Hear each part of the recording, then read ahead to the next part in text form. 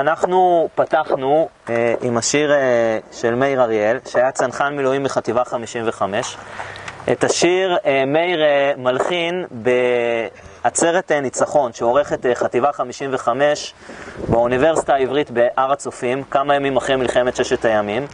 וכמובן, השיר לוקח את המנגינה של נעמי שמר, גם היה שיר חדש מאוד מאוד מושר אה, באותם ימים, של ירושלים של זהב, שיר שבעצם נכתב ומולחן לפני המלחמה, מבוצע כמובן על ידי שולי נתן, ומאיר אריאל לוקח את הלחן, לוקח חלק מהמסרים אבל טיפה משנה אותם. זו כבר לא רק ירושלים של זהב ושל נחושת ושל אור, אלא ירושלים של ברזל ושל עופרת, למרות שבבית השלישי אנחנו רואים שירושלים של זהב חוזרת. ומאיר מנסה לבטא כאן את אה, שני הפנים שאנחנו נלך לאורכם. כשאנחנו חוזרים 56 שנה אחורה, גם ירושלים של זהב, אבל גם ירושלים של ברזל, אנחנו נלך לאורך קצת פחות מ-48 שעות אה, של אה, לחימה מאוד מאוד עיקשת במזרח העיר, אבל בסופם כמובן ירושלים של זהב. אז זה יהיה המסלול שלנו, ומאוד מאוד מרגש לעשות אותו 56 אה, שנים אחר כך. אני אשמח מאוד, אפשר להגיד עכשיו, אפשר לבוא אליי אחר כך, אבל אם יש מישהו שהשתתף בקרבות ההם, אה, כשהתחלנו לעשות את הסיורים האלה לפני 14 שנים, היה קצת יותר אה, קהל כזה, מטבע הדברים, כשהזמן עובר, העניין הזה הולך ויורד, אז הוא מוזמן או להגיד עכשיו, או לגשת אליי אחר כך, אם מישהו ישתתף כאן אה, בקרבות השחרור ירושלים באותם ימים, בשמחה רבה, וגם כמובן יש יתרון גדול, מדריך זה מדריך, אבל מישהו שהיה באותם הימים, אז אפשר או להגיד או אחר כך להגיע אליי. אה, נתחיל אה, מההתחלה. אנחנו עכשיו נמצאים בשכונת מעלות דפנה, אנחנו עוד מעט נעבור את הקו העירוני, שבמשך 19 אה, שנים היה קו גבול במרכז ירושלים, קו גבול של 7 קילומטרים, אנחנו גם נראה אותו וננתח אותו ונבין אותו, אבל קו גבול שהגיע מצפון העיר ועד לאזור רמת רחל, אנחנו נחצה את הקו הדמיוני הזה, שעדיין כמובן משפיע על ירושלים עצמה, אבל בואו רגע נלך אחורה בשנים.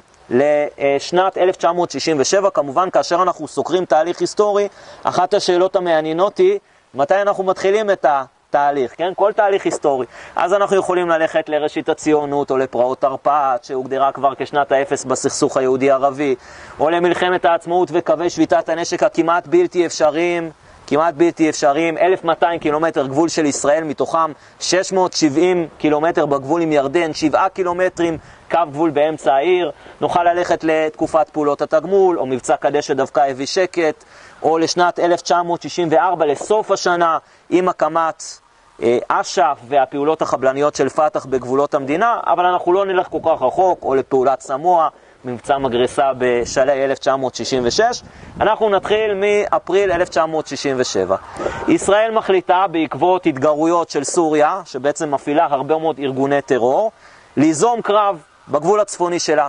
ב-7 באפריל מתקיים קרב האון, קרב שמתחיל מירי תותחים בשטחים המפורזים וממשיך לקרב אוויר ענק מעל 100 מטוסים וישראל מפילה מטוסים סורים והטייסים הישראלים לא מתאפקים, עושים יעף מעל, אה, יעף מעל ארמון הנשיאות בדמשק ובעצם מראים מי ניצח באותו אה, יום קרב כמו שהוא כונה באותם ימים והמזרח התיכון מתחיל להידרדר לקראת ימים שהם ימים מתוחים יותר ויותר באותה תקופה.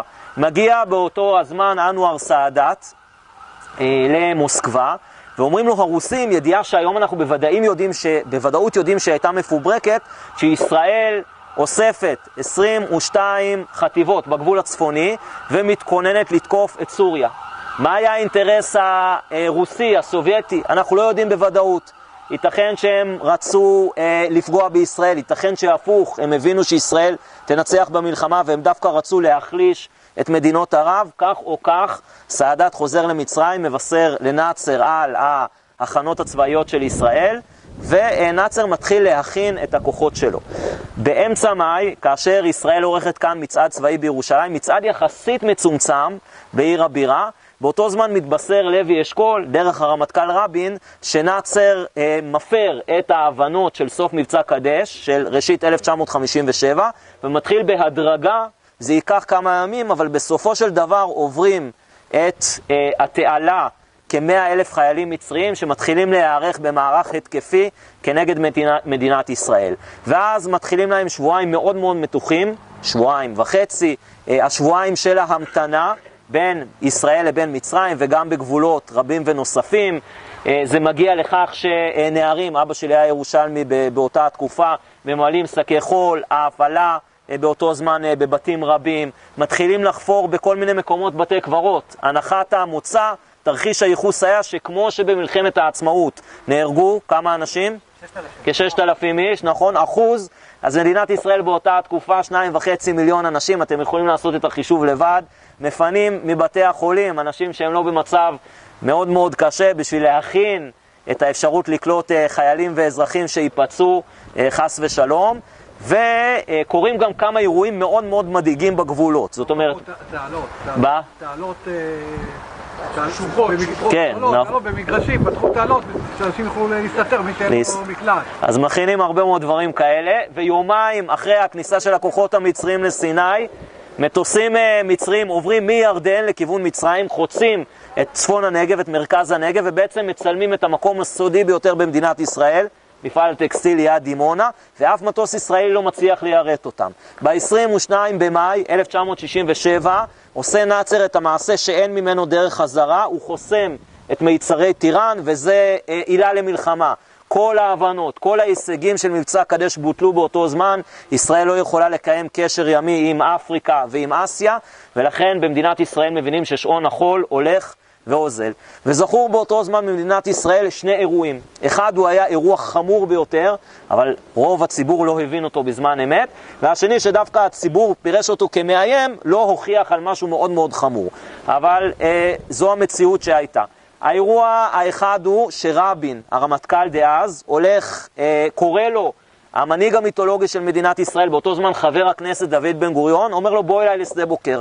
כאשר הוא נכנס אליו לצריף, פותח עליו אה, בן גוריון את הפה ואומר לו, אתה, ו- וראש הממשלה, כמובן הביקורת היא בעיקר ללוי אשכול, שבן גוריון ואשכול הסתכסכו כמה שנים קודם לכן, אתה הכנסת את מדינת ישראל לדרך ללא מוצא, אתה יוצא עכשיו למלחמה ללא מעצמה מאחוריך, מה שאני, כן, כמובן שהדיוק ההיסטורי הוא לא כל כך נכון כאן, אבל מה שאני מעולם לא עשיתי, והאחריות תהיה עליך. רבי נכנס אה, אה, לחשש מאוד מאוד כבד, ובעצם במשך אה, כיומיים לא מתפקד בכלל. ראש אג"ם עזר ויצמן מחליף אותו. במדינת ישראל לא ידעו מאותו האירוע, רק לימים כאשר ויצמן מפרסם את הזיכרונות שלו, מובן כמה חמור היה המצב שבו הרמטכ"ל לא מתפקד. לוי אשכול ראש הממשלה עולה לנאום ברדיו, נאום פשוט יחסית, לוי אשכול גם. אה, שההיסטוריה קצת אה, חוטאת אליו, או לפחות הנרטיב המקובל קצת חוטא אליו, מחקרים היסטוריים עדכניים מבינים כמה הייתה החשיבות שלו. אה, המזכיר הצבאי שלו משנה כמה דברים בשורות לפני הנאום. מי ששמע פעם את הנאום של לוי אשכול? לא נורא, תשמעו אותו פעם, בסדר, הוא מוקלט ביוטיוב, נמצא, לא סוף העולם. לא נורא, לא הכי רהוט, אבל קורה, לכל אדם שנואם יודע, יש ימים יותר טובים, פחות טובים.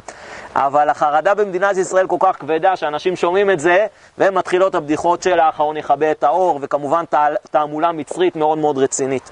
בתחילת יוני מבין אשכול שאין ברירה, והוא נאלץ, נאלץ, כי הוא יודע שהוא ישלם על זה מחיר אה, ציבורי מאוד מאוד כבד, להכניס לממשלה שלו את בגין, אם בגין לא כל כך הייתה לו בעיה, אבל הוא נאלץ למנות אה, לשר ביטחון את משה דיין, ומדינת ישראל מבינה שהיא חייבת איכשהו לפרוץ את טבעת החנק. חמישי ביוני 1967, בשעה שבע ועשר דקות בבוקר, ממריאים כ-180 מטוסים מבסיסי תעופה שונים במדינת ישראל, כמעט. הצבא בוודאי. בוודאי. אנחנו עוד רגע נחזור שנתאר את המציאות כאן בירושלים. ממריאים כ-180 מטוסים לכיוון שדות התעופה המצריים ומצליחים מכת פתיחה מהממת להשמיד את רוב הכוח של חיל האוויר המצרי. אבל מה קורה במבצע מוקד? צדין אדום זה מבצע יבשתי שקורה כמה דקות, מתחיל מאוחר יותר, כוחות של טאליק ושל שרון, כל מיני אוגדות לאורך הגבול המצרי, שלוש אוגדות, מתחילות אה, אה, להתקדם אה, מערבה. מה קורה בירושלים באותו זמן? אז בירושלים, אנחנו חוזרים רגע להערה של עמית, המצב הוא הרבה יותר מורכב. למה? מכיוון שמדינת ישראל מבינה שמצד אחד תהיה לה מלחמה עם סוריה, כי סוריה, כמו שאמרנו, היא ראש הנחש, ומהצד השני בוודאי שתהיה כאן לחימה עם מצרים, שהיא מדרדרת את כל העסק, אבל אומרים מפקדי צה"ל, אומר דיין שר הביטחון, רבין, אנחנו ננסה כמה שיותר להימנע מחזית שלישית. ירדן, חברות חברים, סיימה את מלחמת העצמאות כאשר כמעט כל תאוותה בידה. חוסיין, עבדאללה, כן, וחוסיין לאחריו, לאחר שהוא נרצח, חוסיין מלך ירדן, אה, שולט על המקומות הקדושים בירושלים ובשכם וביריחו ובחברון ובבית לחם, הישגים מאוד מאוד רבים, וברור שלירדן יש כמעט אך ורק מה להפסיד במלחמה. אבל חוסיין נמצא בין הפטיש לסדן. לצורך העניין, הפטיש זו ישראל, והסדן זה הרחוב הערבי, והתעמולה הערבית, וצבאות ערב, וב-31 במאי אין לו ברירה, והוא הולך לנאצר וחותם איתו על הסכם הגנה. זה מביא למצב שבו ביום פתיחת מלחמת ששת הימים יושב במטכ"ל ברבת עמון גנרל מצרי ומפקח על מהלכי המלחמה הירדנים. ולמרות זאת, בבוקר החמישי ביוני, ישראל כל הזמן שולחת שדרים לחוסיין, אם אתה לא תתערב במלחמה, ברור לנו שלך יש רק מה להפסיד, אם אתה לא תתערב במלחמה, מצבך אה, יהיה בסדר, אנחנו לא נפתח אה, אה, כנגדך בפעולות טבע. בבוקר החמישי ביוני, יום שני, מתחילה הפגזה מאוד מאוד כבדה, בהתחלה ירי מנשק קל, ואז הפגזה מאוד מאוד כבדה ממזרח ירושלים למערבה. כ-20 הרוגים, הרבה מאוד פצועים בירושלים, ועדיין מה שעושה צה"ל זה אך ורק להשיב אש. הוא לא פולש קרקעית לכיוון ירדן. ואם אנחנו ננסה להבין, אנחנו עוד רגע נחצה את הקו העירוני ואנחנו נראה מה קורה כאן, אז זהו הקו. זוהי בעצם ההסכם, מה שנקרא הסכם הפסקת האש הכנה, שנחתם בין משה דיין לבין אה, עבדאללה אטל ב-30 בנובמבר 1948, כאשר מלחמת העצמאות עוד בעיצומה, כאשר מלחמת העצמאות עוד בעיצומה, זהו הקו העירוני מצפון לדרום כשבעה קילומטרים, כאשר פיקוד מרכז מנסה להבין מהן נקודות התורפה לאורך הקו העירוני, הוא מזהה שתי נקודות. נקודה אחת היא ארמון הנציב, ג'בל מוכבר בדרום. יש שם שטח שהוא שטח מפורז, קרי כוחות צבא, ישראלים וירדנים לא יכולים להיכנס אליו, כמובן ששתי המדינות מערימות על אותן הסכמים, אבל חשש מאוד מאוד גדול שמי שישתלט על הרכס יוכל לגלוש לכיוון תלפיות ומקור חיים, אבל החשש הכבד יותר הוא מה שיקרה במובלעת הלא כל כך גדולה של 136 דונם בהר הצופים, כאשר נמצאים שם כ-130 חיילים ישראלים במדי שוטרים, והטראומה הכבדה, שמי שהגיע מאזור התפילה אולי ראה אותה, זו הטראומה של אפריל 1948. חברות, חברים, שיירת הרופאים והאחיות, או שיירת הע"ח, או שיירת הדסה, והשיירה הזאת עדיין נמצאת, מפקדי צה"ל, במלחמת ששת הימים, בחלקם היו כאן גם במלחמת העצמאות, עוזי נרקיס שהיה בחטיבת הראל, ואליעזר אמיתי מפקד חטיבת ירושלים, שגם היה בה, ובעצם הטראומה הזו עדיין מלווה, וכמובן רבין, הטראומה הזו עדיין מלווה את צה"ל. והחשש המאוד מאוד כבד, אין ח... אורי בן ארי כמובן, החשש הוא לא שירדן תצליח לכבוש את כל מערב ירושלים, אלא שירדן תכבוש את תלפיות, תכבוש את הר הצופים, תציב דגל ותגיד, אנחנו היינו חלק מה, מהמערכה הפן, הפן ערבית. וזה החשש. אה, ולכן פיקוד מרכז מפנה את כל הקשב שלו לכיוון הזה. מה קרה במלחמה, איך היא התחילה, אנחנו uh, נרחיב כאשר אנחנו uh, נחצה את הקו העירוני, ואנחנו נעבור למה שהיה עד למלחמת uh, ששת הימים, ירושלים הירדנית. אז אנחנו נעבור. Uh, מוזמנים אנחנו הולכים על רחוב שמעון צדיק, נגיע לאנדרטה של גדוד 71. תשמרו את הדפים אצלכם עד לסוף הסיור. חברות חברים, איפה אנחנו? הגענו לשכונת שייח' ג'ראח, אחת השכונות המוסלמיות הראשונות אה, שיצאה מהעיר העתיקה. אנחנו כולנו מכירים את תהליך היציאה מהעיר העתיקה היהודי, אולי חלקנו גם הנוצרי. היהודי בעיקר האוכלוסייה הפחות עמידה, נדחקה החוצה, התחילה להקים את משכנות שאננים ובית ישראל ומאה שערים ונחלת שבעה וכולי וכולי. אוכלוסייה נוצרית בעיקר מוסדות, כמו שנלר וגובת, ואוכלוסייה אה, מוסלמית, דווקא אוכלוסייה עמידה יותר יצאה לכיוון צפון. למה לכיוון צפון? על הדרך לשכם, יפה, בסדר.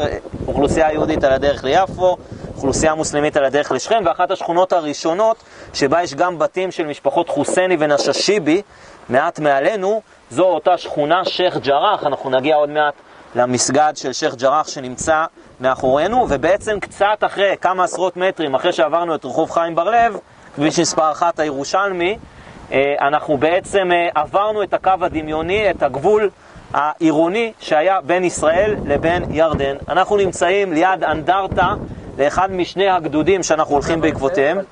אתה לא יכול לדלג על ציון שמעון הצדיק והשכונה שלו. אז אה, אוקיי, יפה, אז, אז, היה, אז באמת, הצדיק. בתקופת המנדט, אה, יש לנו כמובן את קבר שמעון הצדיק, שהחל מימי הביניים יהודים מייחסים אותו לשמעון הצדיק, שהיה משיירי כנסת הגדולה, ובסוף התקופה העות'מאנית, תחילת תקופת המנדט, היו כאן שלוש שכונות יהודיות, אה, שחלק מהם, בעצם מי שמתיישב כאן, אה, זה קרקעות של אה, אחת משלוש מאותן שכונות.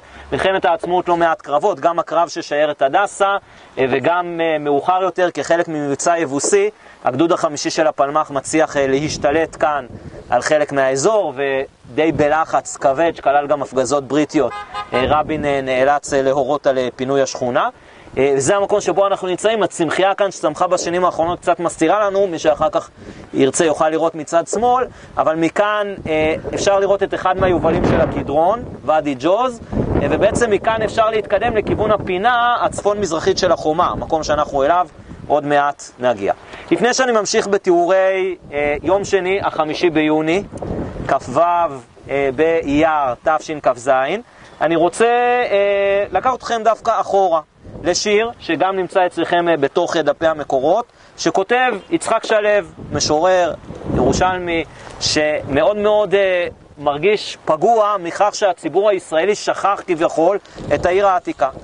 הוא כותב בין השאר כאשר הוא עולה על מנזר נוטרדם, הוא כותב גג מנזר נוטרדם היה לי כנבו, את הקודש אראה ואליו לא אבוא. אבל בשיר שנמצא אצלכם בדפים זה שיר שהוא חצי נבואי. ככה הוא כותב: יום אחד לאחר שתיגאל העיר העתיקה. אנוכי משער לעצמי את שער יפו, איכך לא יכיל את העם הזורמים אל העיר, ונודד דמיוני לשערים אחרים בחומה, שגם המה מלאים את הזמר, את הזרם איתי וחביר. ורואה אנוכי במראה את הכותל, מוצף נהר דהמה רחום, השוטפו מאבק היתמות, ואך מנביטים כל סדקיו ניצני פתקאות, ואימות חסודות משפיעות על גופו, חמימות. אני קופץ לשורות האחרונות. ואין לשער את קדושת הימים, הלילות, ואת גודל הבכי, השמחה הגואים באוויר. שופרות אז תוקעים לאדם בכל שלוש השמורות, וספרי תורה, והוא כותב את זה כמה שנים לפני מלחמת ששת הימים, וספרי התורה מתהלכים ברחובה של העיר. אז זו הכמיהה של יצחק שלו לעיר העתיקה, ואנחנו נמשיך כאן במסלול בעקבות הלוחמים, שכאשר הם מגיעים לכותל, הרבה מאוד מהשורות של יצחק שלו בסופו של דבר מתגשמות. אני אנסה כאן אה, להיות אינטראקטיבי כמה שאני מצליח. שעות הבוקר, כמו שאמרנו, הפגזות, מתחיל מירי בנשק קל והפגזות כבדות, וישראל עדיין לא עושה שום דבר קרקעי אקטיבי, תודה רבה. ובשעה אחת בצהריים חוסיין עושה שגיאה כנראה מאוד מאוד פטאלית, וכוח של פלוגה מתחיל להיכנס מאזור מוצב הנקניק, מקצה השטח המפורז, וכובש את מטה משקיפי האו"ם, ומתחיל להתקדם לכיוון חוות הלימוד של רחל ינאית בן צבי. שוטרים, שוטרים ישראלים שנמצאים אה, ממש אה, על, אה, על קו הגבול, חוזרים אחורו, קופצים, ועולים בקשר מול אליעזר אמיתי, מפקד חטיבה 16, ואומרים לו המלחמה התחילה. וכאן אה, נכנס לפעולה צוות אה, קרב גדודי, פיקודו של אחד מגיבורי המלחמה, שככה קצת אה, נשכח, נכון, אשר דרייזן או אשר דר, עדיין אה, אה, איתנו אה, בחיים, אה, עיטור העוז נפצע כאן פעמיים אה, בקרבות. אה, יחד עם כוח של אה, סיירת החטיבה, של יוסי לנגוצקי, וכוח טנקים שעוד נדבר עליו בהמשך, איך מגיעים טנקים לירושלים, הרי זה אסור. והכוח הזה במהלך שעות הצהריים והערב כובש את ארמון הנציב ואת מוצב הנקניק ואת מוצב האנטנה ואת מוצב הצומת, בעצם מנתק בין הר חברון הירדני לבין מזרח ירושלים, ובערב מצליח לכבוש מתחם משוריין שאיים במשך שנים על רמת רחל, מוצב הפעמון. ובסופו של הערב דרום ירושלים, האיום על דרום ירושלים מוסר. אבל במהלך הצהריים קורים כמה דברים נוספים. רדיו רבת עמון מודיע על כיבוש הר הצופים. עולים בקשר מול מנחם שרפמן, שהוא היה מה שנקרא מלך ההר, מפקד יחידת מצוף 247, הוא אומר הכל בסדר, לא קורה פה שום דבר, הכל שקט. אבל החשש הוא שהירדנים ינסו לשחזר את מה שהם נכשלו בדרום העיר, ינסו לכבוש את הר הצופים, ששם המצב הרבה יותר רגיש. במקביל, חטיבת הראל, חטיבה 10 של אורי בן ארי, שכמו שכאן צוין נכון, די אברהם אם אני לא טועה, היה מפקד פלוגה במלחמת העצמאות ועכשיו הוא מפקד חטיבה משוריינת. אגב, הוא נכנס לתפקידו ממש ימים ספורים לפני המלחמה, והחטיבה שלו מתחילה לצאת ממוצבי הקסטל ושייח עבד אל-עזיז והרדה וכולי וכולי, במטרה להגיע לכיוון כביש ירושלים רמאללה. אבל זה לא מספיק למטכ"ל. עדיין החשש למה שיקרה בהר הצופים הוא חשש מאוד מאוד כבד. ולכן, חטיבה 55, חטיבת צנחנים, חטיבה יחסית חדשה, חטיבת מילואים כמובן. אגב, עובדה מעניינת מאוד, כמעט כל הלוחמים על, ירוש... על ירושלים במלחמת ששת הימים, חטיבה 10 של השריון, חטיבה 16, חטיבה אזורית וחטיבה 55, כמעט כולם היו מילואימניקים.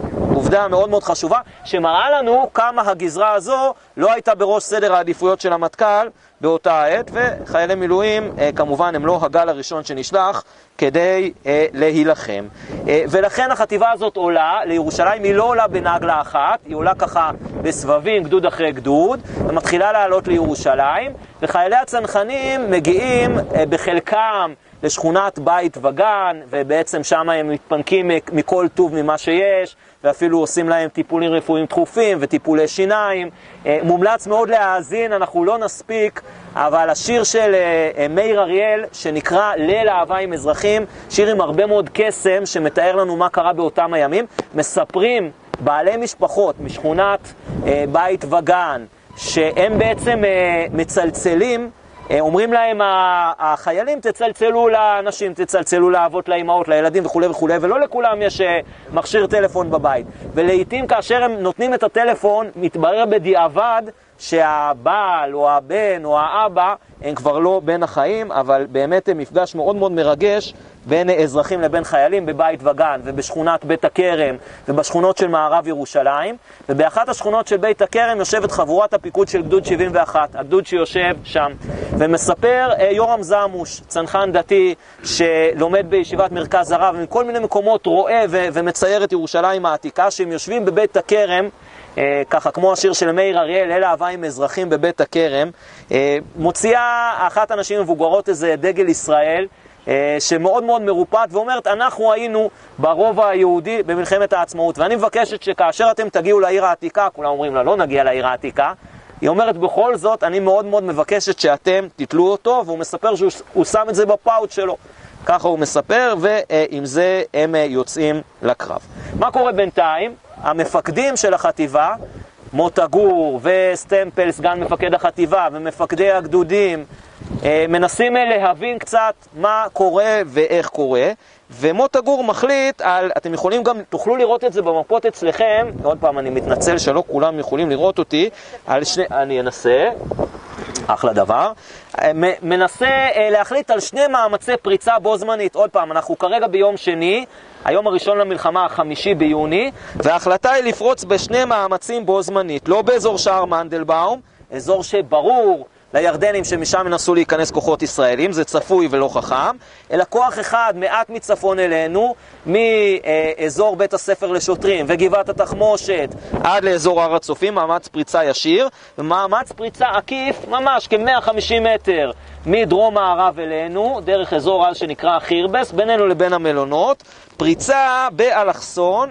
של שני גדודים, גדוד 71 ובעקבותיו גדוד 28, לכיוון מוזיאון רוקפלר. מה המטרה? המטרה היא קודם כל שאם המאמץ הישיר ייכשל, יהיה מאמץ עקיף. אבל מוטה גור ככה מספר בזיכרונות שלו, כמה זה היה נכון בזמן אמת, זה כמובן שאלה שאנחנו לעולם לא נדע לענות עליה, שאם וכאשר יהיו תנאים להיכנס לעיר העתיקה, כוחות שלו יהיו באזור מאוד מאוד סמוך.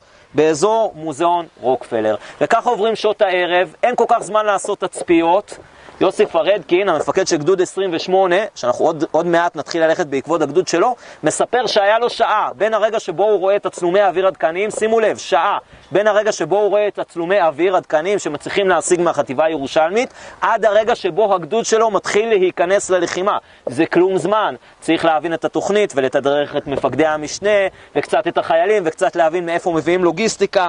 הרבה מאוד חוסר זמן, ומה הייתה המשימה המקורית של הצנחנים בכלל? לעשות את הצניחה הקרבית השנייה בתולדות צה"ל, לצנוח באזור אל-עריש, וכל הדברים האלה כנראה כבר לא יקרו. השעה 12, אחת בלילה, מהמטכ"ל לוחצים על מוטה גור לחכות עם הפריצה לבוקר, אבל מוטה גור ומפקדים אחרים בפיקוד מרכז עדיין סוחבים איתם את הטראומה של תש"ח. אם לא פועלים מהר, כמו מה שהיה למשל במאי 1948 ברובע היהודי, אז הכל על הפנים ומתחרבש ולא מצליח, ולכן בשעה 2.20, בסופו של דבר המטכ"ל נותן למוטה גור להחליט, בשעה 2.20 אחרי הפגזה מאוד מאוד כבדה לאורך הקו העירוני, מתחילים לוחמי חטיבת הצנחנים לעבור את הקו. הגדוד הראשון שאנחנו אה, אה, נמצאים אה, אה, לאורך נתיב ההתקדמות של חייליו הוא גדוד 71. בפיקודו של עוזי אילם. המטרה שלו זה לצאת מאזור שכונת שמואל הנביא, ודרך ואדי ג'וז להגיע לכיוון מוזיאון רוקפלר. אש מאוד מאוד קשה אה, כאשר הם עוברים את הקו ומתחילים להיתפס פה במקום הזה, ומכאן הם מתחילים לרדת בוואדי ג'וז. אם אפשר רגע, אה, נזוז שנייה. ואני דווקא רוצה אה, לספר את הסיפור, שימו לב, כאן החללים של מלחמת ששת הימים, וכאן מלחמת ההתשה ומלחמת יום כיפור, ולצערנו היו עוד נופלים אה, באירועים נוספים, אבל דווקא בסוף יש לנו כאן שם של אריה אה, כושי דביר, שלא אה, נראה שהוא קשור לשום דבר, נכון? זה דבר מאוד מאוד מוזר. הוא לא קשור לפעולות ביטחון שוטף, ולא למלחמת יום כיפור ולא למלחמת ששת הימים, ואפשר אפילו להגיד אה, שהוא בעצם נחשב אה, לחלל האחרון של מלחמת ששת הימים. למה? מה קרה? הכוח שלו הוא בעצם מפקד מחלקה בפלוגה ד' אה, בגדוד, בגדוד 71, אה, והם מתחילים לעבור כאן את הקו העירוני עם אש מאוד מאוד מאוד מאוד קשה. אתם יכולים לראות אותו כאן, ומתחילים אה, לרדת באחד מהיובלים של ואדי, של ואדי ג'וז. אה, כן, הנה. מתחילים לרדת באחד, ה, באחד היובלים של ואדי ג'וז, וראינו שם משאיות ירדניות עם אה, פצצות מרגמה. הם מגיעים ומצליחים לפגוע באותן פצצות, ממש בערך אה, 100, 100 מטר ממזרח אלינו. אה, ורואים שם כל מיני פתחים של מערות כאלה, והם רואים שם נשים ו- וילדים, והוא אומר אה, לחיילים שלו, ללוחמי המחלקה שלו, חכו רגע. הוא, הוא מעמיד אה, מתורגמן דובר ערבית שמנסה לבוא בדין ודברים עם אותם אה, נשים שנמצאות אה, שם במקום, באותם אה, כוכי מערות כאלה קטנים.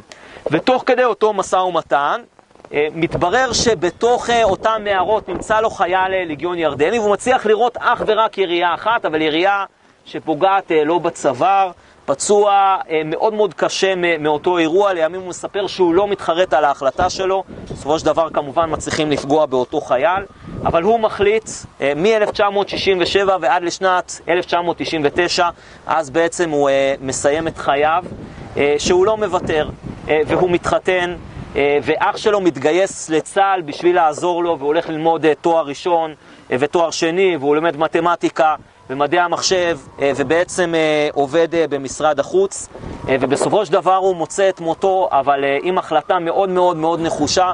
להישאר בחיים ולהמשיך, ומי שנמצא מסביבו מתאר אותו לא כאדם מריר, כי בעצם נכה בצורה מאוד מאוד קשה, אלא כאדם שמתמודד עם כל הדברים ודווקא מנסה להפיק כמה שיותר ולהמשיך הלאה, ובסופו של דבר הוא מוצא כאן את מותו. מרבית הסיור שלנו... מה קרה שם בפוחים? בסופו, בסופו של דבר פוגעים בכל החיילים הירדנים שמסתתרים במקום, והפלוגות של גדוד 71, רוב הסיור שלנו יהיה דווקא בדיוק מה שהתחלתי להגיד, יהיה בעקבות גדוד 28, נכון? הגדוד 71 מכל שלושת הגדודים של חטיבת הצנחנים.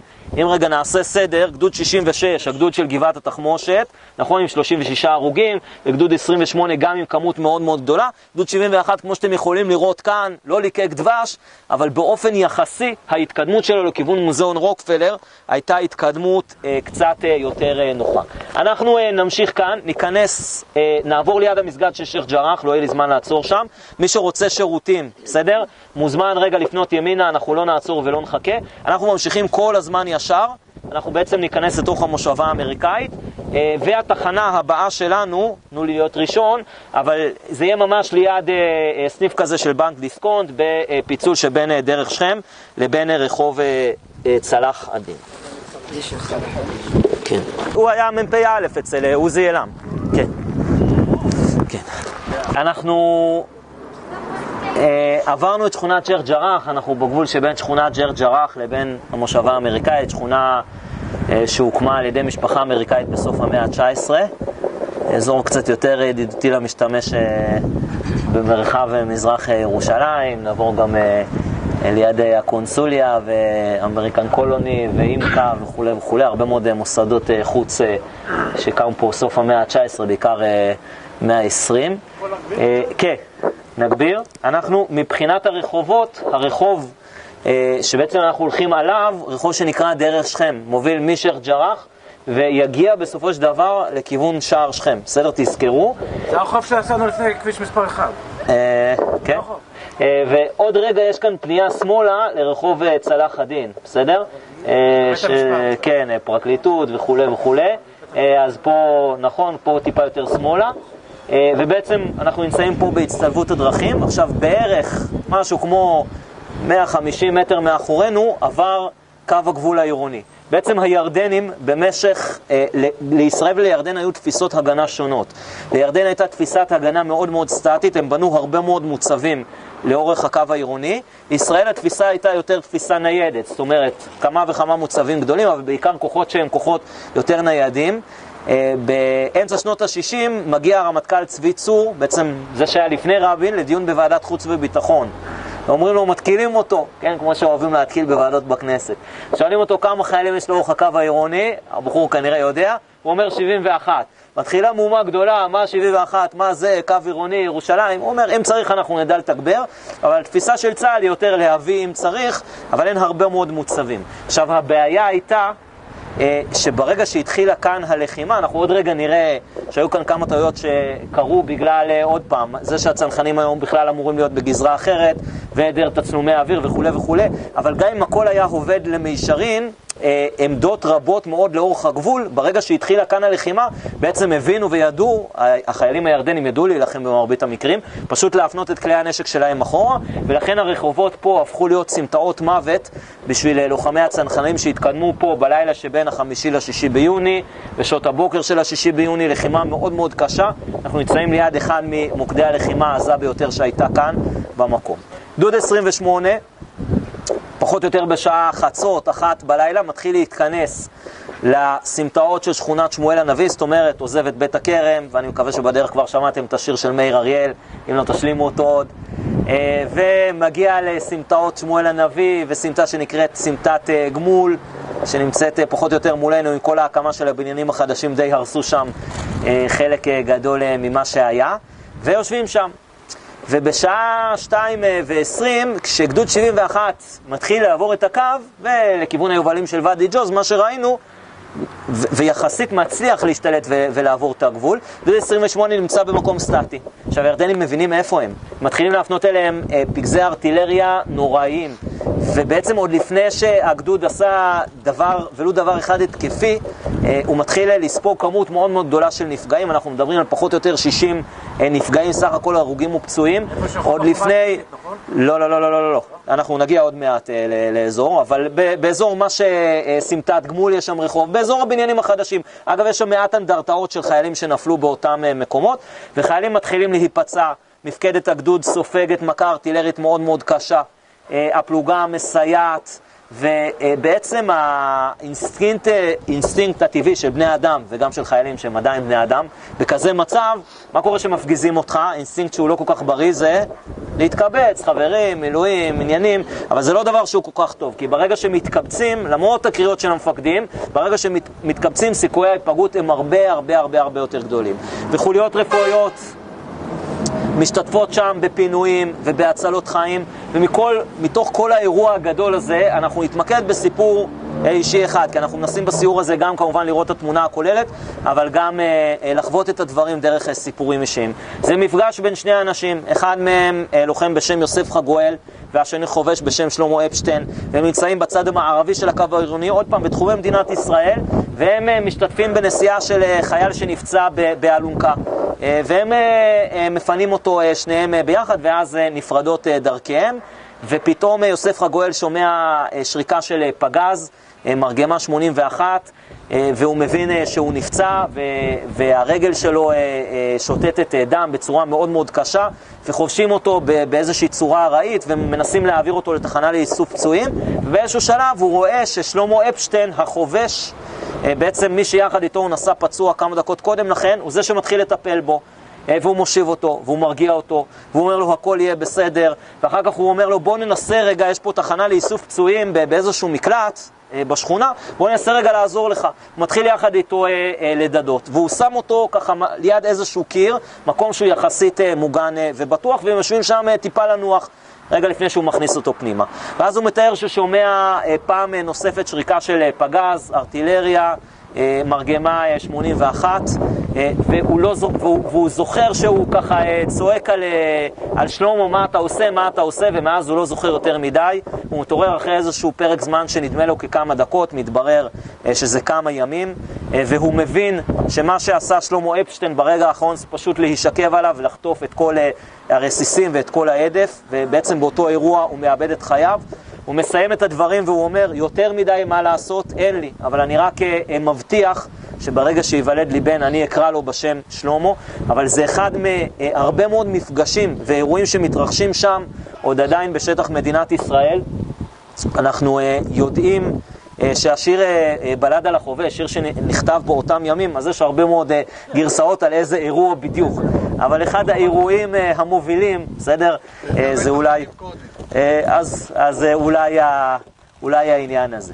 אה, אנחנו נחזור למה שקורה כאן בלילה, בסדר? אחרי בעצם שהכוחות של גדוד 71 ממשיכים בערך שעה אחר כך, גדוד 28 גם מכניס, מתחיל ונכנס כאן ללחימה, כאשר בעצם התוכנית של יוסי פרדקין, המג"ד עוד פעם, שמקבל את תצלומי האוויר בערך שעה, שעה וחצי לפני שהוא נכנס כאן לאירוע וללחימה, זה לא אה, ללכת על אה, דרך שכם, מכיוון שעוד פעם אמרנו, כל עמדות הקו העירוני וכולי וכולי יפנו את אישם אחורה, אלא לפנות פה שמאלה ברחוב צלאח א-דין, אתם מוזמנים להסתכל במפות אצלכם ולראות שרחוב צלאח א-דין, בסדר? בעצם מוביל פחות או יותר יחסית ישירות לכיוון מוזיאון רוקפלר וככה להתרחק מהעמדות. תפתחו את המפות, תראו את זה בצורה טובה. מה שקורה בפועל זה הדבר הבא. מפקד המח... עוד פעם, מתוך ארבע פלוגות שהיו לו, אחת נמחקת כמעט כליל, השנייה הוא מאבד איתה את הקשר, מתברר בהמשך שהיא פועלת עם דוד 71, תגיע למוזיאון רוקפלר, אבל מתוך שתי הפלוגות שיש לו, פלוגה אה, א', ופלוגה אה, ג' בפיקוד אלכס, שאנחנו נחזור אליה עוד מעט, אה, בעצם מתחילות לפעול כאן, ומפקד מחלקת החוד, אדם בשם נחשון ישראלי, מבין את התוואי, הוא מבין לאיפה הוא אמור לנווט, אבל מה שקורה כאן בצומת הזאת, הוא רודף אחרי ג'יפ של הליגיון. הוא בעצם נכנס לתוך רחוב צלאח א-דין. עכשיו, כל הכוח, כל שתי הפלוגות שהולכות מאחוריו, לא מבינות את הטעות, והן ממשיכות ומתקדמות ישר.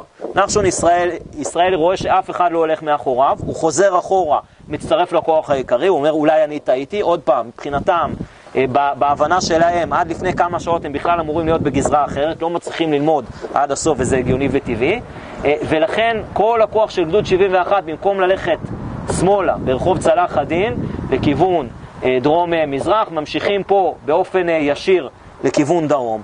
והטעות הזאת כאן בצומת היא טעות שגורמת לקרבות, עוד פעם, אי אפשר לשפוט, וכמובן, כמובן, כמובן שאי אפשר להאשים, אבל גורמת לקרב של פחות או יותר שבע שעות לאורך קילומטר וחצי, שאנחנו ככה נלך לאורכו יחסית אה, בצורה קלילה, אבל מה שקורה הוא שבכל בניין וכל בית שיש בו עמדה של הליגיון מערבה לכיוון הקו העירוני, הליגיונרים ברגע שהם רואים את החיילים מפנים את האש שלהם אחורה מזרחה, וגם כאשר פוגעים, או חושבים שפוגעים, מתברר שהליגיונרים מסתתרים בחדרים שהם קצת יותר פנימיים. מה קורה כאן? מי מגיע לעזרת לוחמי הצנחנים? ובניתוחים אה, טקטיים של קרבות ששת הימים אנחנו מבינים שבמקום שבו היה שריון בירושלים, הקרבות היו הרבה יותר פשוטים, למשל בקרבות דרום העיר, למשל בקרבות כאן, לא שהם היו פשוטים, אבל הצליחו להביא, להביא להכרעה. איפה שריון לא תפקד באופן יעיל? באיזה קרב? בסדר, עיר עתיקה כבר לא כל כך היה קרב, נגיע לזה עוד מעט. איפה שריון תפקד בצורה לא טובה, כי לא הכווינו אותו כמו שצריך, גבעת תחמושת, בסדר?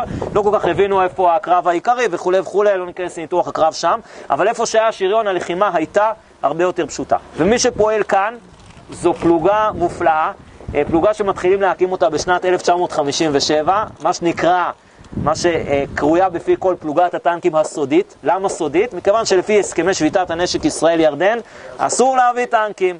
אה, ומתחילים להקים פלוגה בהסתר, כל מיני צ'יזבטים, איך מעלים אותם לירושלים, יושבים חלקם בשנלר, חלקם בסטף. מפקד הפלוגה, אדם בשם אהרון קמרה, רב סרן, הוא מתאר שכמה ימים לפני מלחמת ששת הימים מגיע אליו יצחק רבין, הרמטכ"ל, אוסף את כל החיילים שלו ואומר להם, אתם יושבים? מעולה. עכשיו אני רוצה להגיד לכם משהו. אני עוד כמה ימים הולך לתקוף עם אלף טנקים במדבר סיני. אומר קמרה לימים בריאיון, אה, מזל שישבנו, כי באמת זו הייתה בשורה אה, מאוד אה, ככה מדהימה, ואתם אלה שצריכים להגן על ירושלים. פלוגה מוגברת, מביאים עוד כמה טנקים לפלוגה, 18 טנקים, חציים פיקודו של קמרה, משתתפים בלחימה בדרום העיר. אה, וכוח נוסף, פיקודו של רפי בן שהיה, משתתף פה בלחימה עם הצנחנים. ובעצם התקשורת, כן, דברים שמדברים עליהם היום בצה"ל הרבה מאוד, בין לוחמי החי"ר לבין לוחמי השריון, היא לא כל כך ידועה. אז מנסים הצנחנים להפנות את תשומת ליבם של הטנקיסטים עם אה, זריקות אבנים וכולי וכולי. אה, באחד מהקרבות בבית אה, הליגיון, בעצם שאנחנו לא נעצור לידו, אנחנו לא יכולים לעצור בכל נקודה, אבל רואה אחד מפקדי הטנקים דמויות באחת מהקומות העליונות, הוא עוד רגע נותן פגז לכיוון, וברגע האחרון הוא קולט שזה לוחמי צנחנים, אז הוא מצליח ברגע האחרון ככה להסיט את, את התותחן ולא לפגוע ב, בלוחמי הצנחנים, אבל לאט לאט לאט לומדים לשתף פעולה, ובעזרת הטנקים מתחילים במחיר דמים מאוד מאוד כבד, כאשר כמעט בכל צומת ובכל בית שוכב צנחן, פוצוע או הרוג, אבל להתקדם אה, דרומה. אנחנו נמשיך מכאן ונגיע אה, עד לאזור החומה השלישית, עד לאנדרטה של גדוד 28. הטנקים, אז חלקם ישבו, רובם ישבו במחנה סטף, חלק קטן אה, ישב אה, בשנלר. אה, יש ליד גן הפעמון שם. איפה שיש שם את ה... יש את מחנה א'. שנאים, שנאים. כן. יש שם חברת החשמל ליד כן. המנזר. שם? שם, כי היו צריכים להפעיל את המנועים כל הזמן, פעם בכמה זמן. כן. כשהנאים נכנסו לפעולה, אז גם הפעילו במקביל את המנועים. כן. אז מישהו אמר שהיה גם בהרטמן, מה שהיום... אז אה, יש הרבה מאוד סיפורים, אבל בגדול ההיסטוריה המקובלת מדברת שהרוב ישוב בסרטן.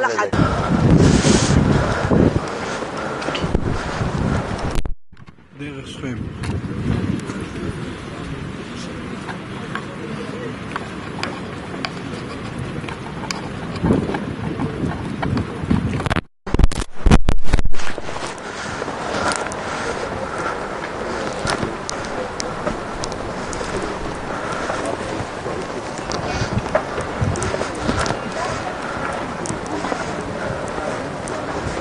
האנדרטה אה, של אה, גדוד 28 שספג בקרבות מאוד מאוד קשים, כמו שאמרנו, 7 שעות, קילומטר וחצי, שספג 25 הרוגים כאן בקרבות, חלק מהשמות אני מעריך אה, מוכרים, מוכרים לכם, נכון, הרצי הלוי שהוא בעצם, נכון, הדוד של הרמטכ"ל, רמטכ"ל צה"ל, ואבנר גץ שנהרג אה, בבית הקברות של בבא סיארה, אנחנו נדבר על העניין הזה בהמשך, הבן של הרב גץ מכרם אה, בן זמרה, שככה אה, מתגייס ולוחם פה במקום, ולפי עדותו של אבא שלו, בעצם הוא מכריז ביישוב, ברגע ששומעים על הניצחון במלחמת ששת הימים, מכריזים על מסיבה מאוד מאוד גדולה. ואומר הרב גץ, עד שנשמע שכל אחרון אנשינו אה, יצא בשלום מהמלחמה, אנחנו לא נשמח עד שהוא שומע את הבשורה הבאה על נפילתו של אה, בנו אה, ומגיע... הוא כך שמע, הוא בא לירושלים. ו... הוא בא לירושלים ולקח זמן עד שהייתה לו הרגשה כלשהי ואחר כך...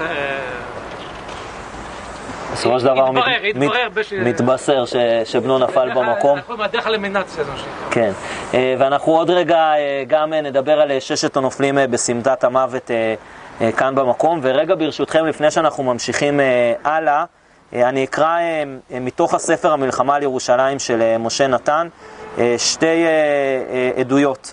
אה, של אנשים, אה, של לוחמים אה, מאותו הגדוד, וככה הם מתארים. עוד פעם, בחלקם זה הגדוד הוותיק ביותר, אמנם החטיבה היא חטיבה חדשה, אבל, אבל הגדוד הוא גדוד ותיק, חלקם כבר היו בפעולות התגמול, זאת אומרת, הם ראו דבר או שניים בחיים. אז ככה מתאר אחד.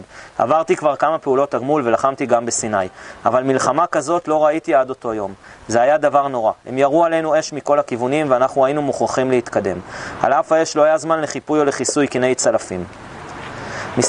מסתבר שלאורך כל הקו העירוני ישבו כוחות צבאיים סדירים והם התמקמו שורות שורות על בתים שהיו לפעמים בני ארבע קומות ולחמו בנו מכל הקומות. היו מבצרים שצריך היה להילחם בהם ארבע פעמים על אף שהופגזו קודם לכן על ידי טנקים והותקפו בידי הפלוגה הפורצת. המלחמה ברחוב שכם התנהלה בסך הכל לאורך קילומטר וחצי, אבל ההתקדמות נעשתה במשך שבע שעות. זה אולי ייתן מושג על קושי הלחימה. ואדם נוסף מוסיף. התקדמת וידעת תוך כדי הלחימה שהחברים שלך כבר נלחמו במקום הזה, משום שהפצועים שלהם מוטלים בכל פינה ברחוב. אתה רואה אותם נואקים וסובלים, ואתה יודע שיש זמן להתעכב. מוכרחים להתקדם. כל עשרה, חמישה עשר מטרים נופל לידך עוד ידיד טוב שלך. חיית איתו כבר חמש עשרה שנים במלחמות. חברים, זה לא אנשים שהתגייסו אתמול ונמצאים עם הרעים לנשק שלהם במשך חודשיים. כל עשר, חיית איתו כבר 15 שנים במלחמות, פעולות תגמול במילואים, ואם הוא בצד הרחוב שבו אתה מתקדם, אתה מתעכב וחובש אותו. אם הוא בצד השני, אנחנו עוד רגע נדבר על ההתקדמות כאן בשני הצדדים, אתה ממשיך לרוץ, כי אם תתעכב לא תשיג את אנשי החוליה שלך, והם זקוקים לך לא פחות ממנו. אתה מתקדם בחוסר ודאות מוחלט. איש מהסובבים איתך אינו מכיר את השטח יותר טוב ממך, אף, שאח, אף שאחדים הם ירושלמים וגרים כמה מאות מטרים מכאן. הכל מבולבל, חדש, לא ידוע. אתה מתקדם, מתקדם, בלי לדעת לקראת מה. בדרך אתה פוגש עוד נפגעים. אחדים מהם נאבקים עם הכאב, ואחרים כבר ללא רוח חיים. ואתה לא יודע מה לעשות. אלה שעיניהם עדיין פקוחות משתדלים לא להוריד את המורל שלך בהנחות. הם שותקים ורואים אותך עובר על פניהם וממשיך, וזה מכה בך וכואב. אתה מרגיש את עצמך עייף, לא ישנת כמה לילות, ומנותק. אין לך מ"פ, אמירה חשובה מאוד, אין לך מ"פ שפוקד עליך, ולא קשר שיקשור אותך למישהו, נפגע כבר בראשית הדרך. הלחימה כאן הופכת להיות לחימה מפוצלת של חוליות, של צמדים, במקרה הטוב מאוד של כיתות, האחריות כולה עליך. אתה יודע שאתה מוכרח לפעול לבדך, בלי פקודות ובלי מפקדים. הכל, הכל, הכל תלוי בך. אנחנו נמשיך עוד רגע דרומה ונגיע לאחד הקרבות הקשים ביותר במערכה לירושלים, שישה נפלו כאן. אין מ"פ מכיוון שהכל הופך להיות uh, מלחמה של חוליות מאוד מאוד קטנות. Uh, מכיוון שלא מכירים את השטח, ומכיוון שגם, uh, למשל, הסמג"ד נפגע, גדליה גל נפגע כבר בהתחלה, אז, ש... אז קאצ'ה מחליף אותו ושרשרת הפיקוד כולה נפגעת, והלחימה פה היא בכוחות מאוד מאוד קטנים, ולא תמיד הפיקוד והקשר, תחשוב עוד פעם, שהם חשבו שהם נלחמים בחולות של סיני, ששם הפיקוד וש... ושליטה הרבה יותר קלים. פתאום צריך להילחם בלי יותר מדי מכשירי קשר בתוך שטח עירוני מאוד מאוד uh, מורכב. רגע לפני שאנחנו חוצים את הכביש וממשיכים עוד הלאה, רגע, אה, היסטוריה קצת יותר רחוקה בזמן, אנחנו נמצאים כאן, שימו לב, ממש מאחוריכם, אה, וגם בהמשך הכביש. אגב, הייתה לנו הרצאה על זה בכנס שנערך, כנס זו ממש הערב עם רשות העתיקות. אה, של כפיר אביב. אנחנו נמצאים לאורך אה, החומה השלישית של ירושלים, יפה מאוד, זו בעצם חומה, אה, כן, החומה, ירושלים בסוף ימי הבית השני היו שלוש חומות שהקיפו אותה, אחת מהן שנבנתה במאה החשמונאים ואחת קצת יותר מאוחר, ואנחנו עומדים ממש לאורך החומה השלישית, שלאחרונה נמצאו ממצאים שלה גם באזור מגרש הרוסים, שאגריפס החל לבנות אותה.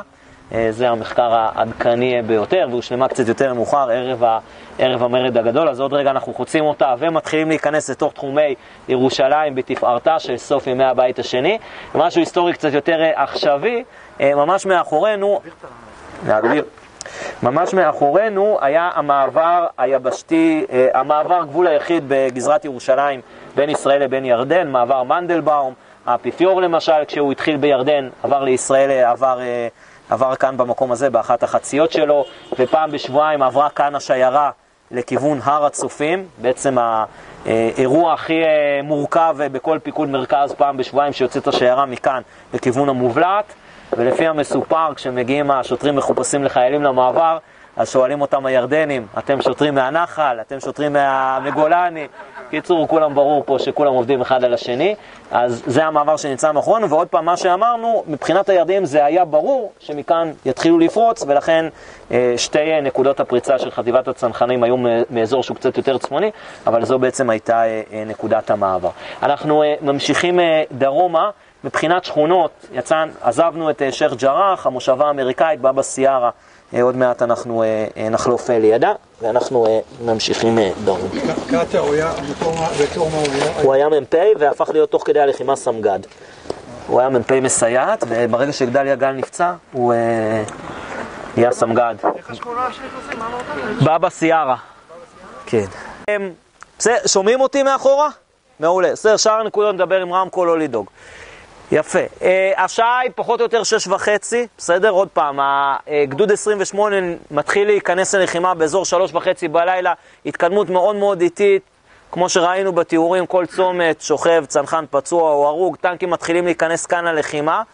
אה, ופה בעצם הלחימה היא משני הצדדים של הרחוב, זאת אומרת, חוליות, כמו שאמרנו, מ"פים כבר הם לא מצליחים לשלוט בכל הכוח שלהם, חוליות מתחילות לעבור בשני הצדדים של הרחוב.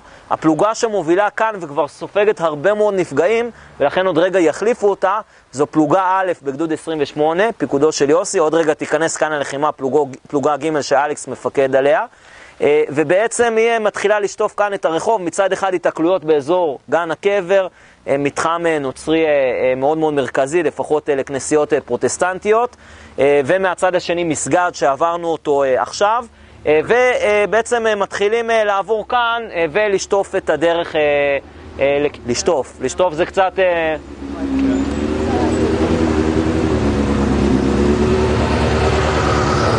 עומדים בכניסה של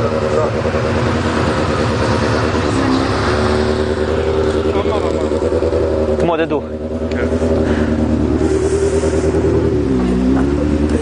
יפה. עכשיו מתברר אה, שכאן בניגוד למה שקרה לאורך כל הקו העירוני, בסדר? מתברר למה ש... שקרה לאורך כל הקו העירוני. לא. אוקיי. בסדר. בניגוד למה שקרה לאורך כל הקו העירוני, אה, פה ב...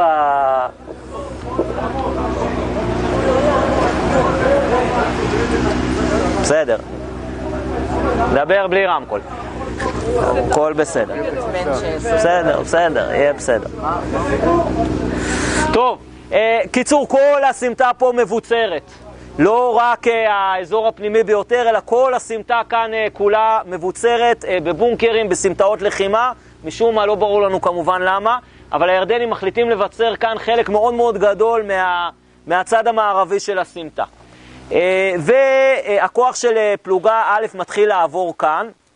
אדם בשם, אה, אחד מהלוחמים, אדם בשם לייזר קרגב, ברגע שהוא נחשף לסמטה, הוא בעצם מקבל כדור, נפגע ונהרג במקום, שני לוחמים נוספים נפצעים, מגיע לכאן סגן מפקד הפלוגה, מורדי אה, פרידמן, שבעצם רואה את ההרוג, רגב, עוד פעם, כמו שאמרנו, בפלוגת מילואים יש הרבה מאוד קשרי חברות, מכיר אותו כבר במשך כמה שנים, הוא מבין שהוא נהרג כאן, הוא מצליח להוציא אחורה את הפצועים, הוא אה, עושה גיחה לסמטה. בשלב שבו אין ירי ומצליח תוך כדי סכנת חיים יקבל את עיטור הגבורה על המעשה שלו, הוא מצליח להוציא אחורה אה, גם את אה, רגב, ובעצם לפנות אותו אה, למקום מסודר. ואז הוא אומר לחיילים שנמצאים לידו, ויחד איתו הוא אומר, עשינו עבודה טובה כאן, לצערנו איבדנו את לייזרקה, והוא לוקח רימון, שולף את הנצרה שלו, שולף את הנצרה שלו, ובא לזרוק אותו פנימה לתוך הסמטה. ברגע שהוא נחשף מהפינה של הסמטה, מהפינה שעליה אני מצביע, בצד הצפון-מזרחי של הסמטה, ברגע הזה, ברגע שהראש שלו נחשף הוא חוטף כדור ונהרג ונופל, מצליחים לפנות גם אותו, אבל בעצם זה ההרוג השני אה, של פלוגה א' כאן במקום. מגיע לכאן הטנק של רפי בן שעיה, הוא מנסה להיכנס ולכוון את התותח שלו לתוך הסמטה, הוא מקבל פגז של בזוקה מכיוון מערב, בעצם חוזר אחורה ללא נפגעים בשלב הזה, אבל הסמטה עדיין אה, לא מפוצחת, זאת אומרת עדיין נמצאים כאן אה, לוחמי אויב. בשלב הזה מחליט אה, יוסי פרדקין להחליף בין הפלוגות של לוחמות. פלוגה א' ספגה הרבה מאוד נפגעים, ולכן אה, אלכס, מפקד פלוגה ג', מקבל פקודה להוביל את ההתקדמות הגדודית, והוא מתחיל אה, בראש חייליו לצאת מאזור הצומת של המסגד, שנמצאת קצת מצפון אלינו, ולהתקדם כאן. איכשהו במהלך הקרב, הלחימה, האש העזה, המידע על הסמטה המאיימת לא מגיע אליו, עוד פעם, תחשבו, הרבה מאוד אש, בוודאי שהם לא מכירים כאן את האזור. הלוחמים שלו מתחילים uh, לעבור uh, כאן, אה, ובחור בשם יהושע דיאמנט, ברגע שהוא נחשף כאן לסמטה, ובחור בשם דן, דני פרישמן, ברגע ששניהם נחשפים במקום, הם עוברים במרוצה לכיוון, לכיוון דרום, שניהם חוטפים כדור ונהרגים, הרוג שלישי ורביעי כאן בסמטת, בסמטת המוות במקום. דניאל טריינין, לוחם אה, שעובר אה, על פני הסמטה בעצם שומע את הצעקות של כולם, אומרים אה, כולם לרוץ בסמטה, וברגע שהוא עובר כאן הוא שומע את הצעקות, משום מה זה דווקא גורם לו לקפוא במקום, והוא חוטף כדור עוד פעם מכיוון מזרח, לוחמים בינתיים מנסים איכשהו, סליחה, מכיוון מערב, לוחמים איכשהו מנסים לאגף ולהגיע למקור, למקום הירי, לא מצליחים, ויש לנו כבר חמישה הרוגים כאן בפתח המקום, ולוחם אחרון בשם אליהו ריבק, שמנסה להגיע לסמטה מכיוון דרום, מנסים עוד פעם להגיע אה, ללוחמים הירדנים מאחוריהם, אה, גם נפגע במהלך ניסיון ההתקדמות, וסך הכל שישה הרוגים, עוד פעם, בסמטה אחת, כאשר הלוחמים מנסים להמשיך ולהתקדם לכיוון חומות העיר העתיקה, לאזור מוזיאון רוקפלר, ורק בשלב הזה עוד פעם כוח של טנקים, בפעם השנייה, מצליח להיכנס כאן, להפנות את התותח לכיוון מערב ולפגוע בעמדות הירדניות, ואחרי דקות מאוד מאוד ארוכות של לחימה, בסופו של דבר מצליחים לפצח את סמטת המוות אה, ולהמשיך אה, להתקדם עוד הלאה. רגע לפני שאנחנו אה, ממשיכים, ברשותכם, אני אקרא כמה מילים, כי סמטת המוות מייצגת לנו את הלוחמה המאוד מאוד עיקשת של הצנחנים, וכמה מילים מתוך דברים שאומר יצחק רבין בנאום בהר הצופים, כאשר הוא מקבל תואר דוקטור לשם כבוד, וככה הוא אומר באוניברסיטה. זאת ועוד, צע, צהלת ניצחון אחזה בעם כולו. אף על פי כן, נתקלים אנו יותר ויותר בתופעה מוזרה בקרב עדות הלוחמים עצמם. אין הם יכולים לשמוח בלב שלם, ויותר מקו של עצב ותדהמה נמסכים בחגיגתם, ויש אפילו שאינם חוגגים כלל. הלוחמים בקווים הקדמיים ראו במו עיניהם לא רק את תפארת הניצחון, אלא גם את מחירו. חבריהם נפלו לידם מתבוססים בדמם. ויודע אני שהמחיר הנורא ששילם האויב נגע אף הוא עמוק בליבם של רבים מהם. ייתכן שהעם היהודי לא חונך ולא הורגל לחוש את שמחת הכיבוש והמנצח. לכן, אומר רבין, מתקבל הדבר ברגשות מעורבים. גילויים אלה, של, גילויים אלה ראשיתם ברוח וסופם ברוח. התעלותם של לוחמינו לא בזכות הברזל באה, אלא בזכות התודעה של שליחות עליונה, של הכרה בצדקת ענייננו, של אהבה עמוקה למולדת, ושל זה במחיר חייהם, זכותו של עם ישראל לחיות את חייו במדינתו בשלום ובשלווה, כעם חופשי ועצמאי. אנחנו נעצור כאן, אנחנו לא נמשיך ונלך אה, בעקבות אה, לוחמי גדוד 28, הם בעצם נכנסים כאן לג, לגן הקבר. ו... הוא נהרג, נכון, אנחנו נראה בצד השני את, אנחנו נראה מהצד השני את בבא סיארה. ההתקדמות שם היא בלתי אפשרית, בטח לא בשעה כזאת. אה, ובעצם אנחנו נמשיך ברחוב הראשי בדרך שכם, אה, ודרך שער שכם אנחנו אה, נצטרף חזרה אל המרוצה שלהם. באזור שער הפרחים. אני רק מבקש את הקטע הזה, יחסית ללכת במקובץ. אנחנו נגיע לשער שכם, נחצה את הכביש, שם נעצור, ומשם נתחיל ללכת לאור חומת העיר העתיקה. איפה נקודת העצירה הבאה? נקודת העצירה הבאה בשער שכם. בסדר? רק תנו לי להיות ראשון, כן. אפשר לדבר איתו בטלפון, אתה לדבר בטלפון עכשיו.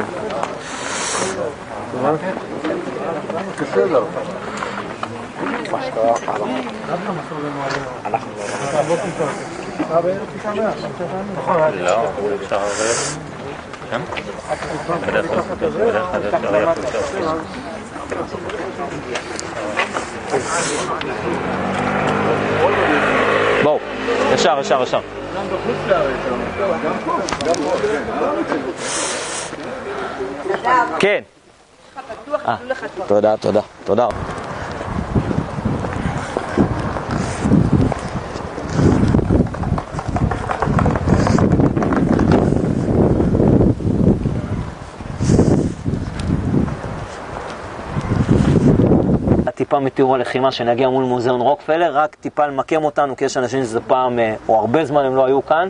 אנחנו נמצאים מול שער שכם, שהוא אחד השערים הכי חשובים של העיר העתיקה, בסדר, נכון? מי שנוסע ברכבת הקלה אה, זה מעולה ללימוד היסטוריה, אה, באבל עמוד, מכיוון שפה כנראה כהשערה עמד עמוד האפס של מדידות המילים, המילים הרומאיים, והשער לכיוון דמשק באנגלית.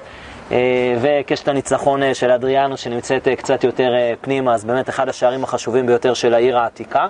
אנחנו נמשיך, נמשיך ונלך לאורך החומות הצפוניות, כאשר מצפון אלינו תהיה שכונת בבא סיארה, בבא זהרה, בעצם אנחנו קוראים היום לשער הפרחים, ככה הוא נקרא, אבל זה שיבוש, בסדר? של בעצם השכונה שנמצאת מצפון אל השער, על שם הסהרורים הבלתי נגמרים, יש שם כל מיני מסורות על, אה, על האנשים שקבורים אה, בבית הקברות שאנחנו עוד רגע נראה מצד, אה, מצד שמאל אלינו, יש גם כל מיני מסורות על חצר המטרה של ירמיהו שהייתה שם במקום. אבנר גץ, הבן של הרב גץ, כמו שצוין כאן קודם לכן, בעצם נהרג כאשר לוחמי גדוד 28, שעוד פעם, בשלב הזה פעלו במתאר של שלוש חוליות, הגיעו לתוך בית הקברות, הם בעצם עלו מאזור גן הקבר שראינו משמאל ועלו אה, לכיוון אה, אותו, אותו בית קברות, ובעצם חשבו שמשם הם יהיו ביתרון על חומות העיר העתיקה, אבל צלפו בהם מכיוון החומות, שבין שער שכם לבין שער הפרחים. הם הצליחו קצת לזחול אחורה, אבל תוך כדי הלחימה העזה שם נהרג אבנר גץ במקום, בעצם פונה, פונה אחורנית. אנחנו נמשיך לאורך החומות, נספר את הקרבות באזור מלון ריבולי ומוזיאון רוקפלר, ואנחנו נמשיך לאורך חומות העיר העתיקה. תציצו ימינה, גם לאזור uh, מערת צדקיהו כמובן, בסדר? עם הרבה מאוד מסורות, אבל כנראה בפועל לא מחצבה לא. מתקופת הבית השני. Uh, זה מסורת כנראה היסטורית ומדויקת. Uh, ושימו לב שגם יש מקומות שבהם החומה ככה יחסית uh, מאוד נמוכה, יש לה מצוק טבעי, יושבת על מצוק טבעי. ואנחנו נעצור, נלך רצוף, בסדר? בבקשה ללכת מקובץ. Uh, ואנחנו נעצור uh, בעצם ממש מול מוזיאון רוקפלר, בפינה הצפון-מזרחית של חומת העיר העתיקה. בואו. קצת יותר אה, אשתדל. סבבה. אשתדל איזה. מה?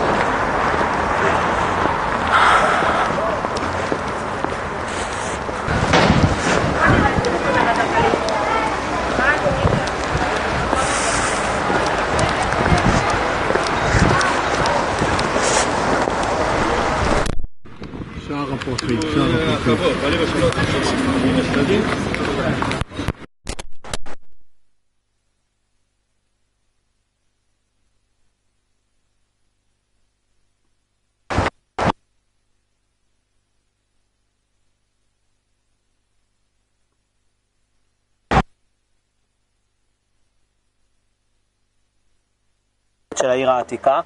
אה, מאחורינו, עברתם אותו, מוזיאון רוקפלר, מוזיאון שקם בסוף שנות ה-30 של המאה ה-20, בעצם על ידי מחלקת העתיקות הבריטית, חידוש מאוד מאוד חשוב אה, בנוף של ארץ ישראל.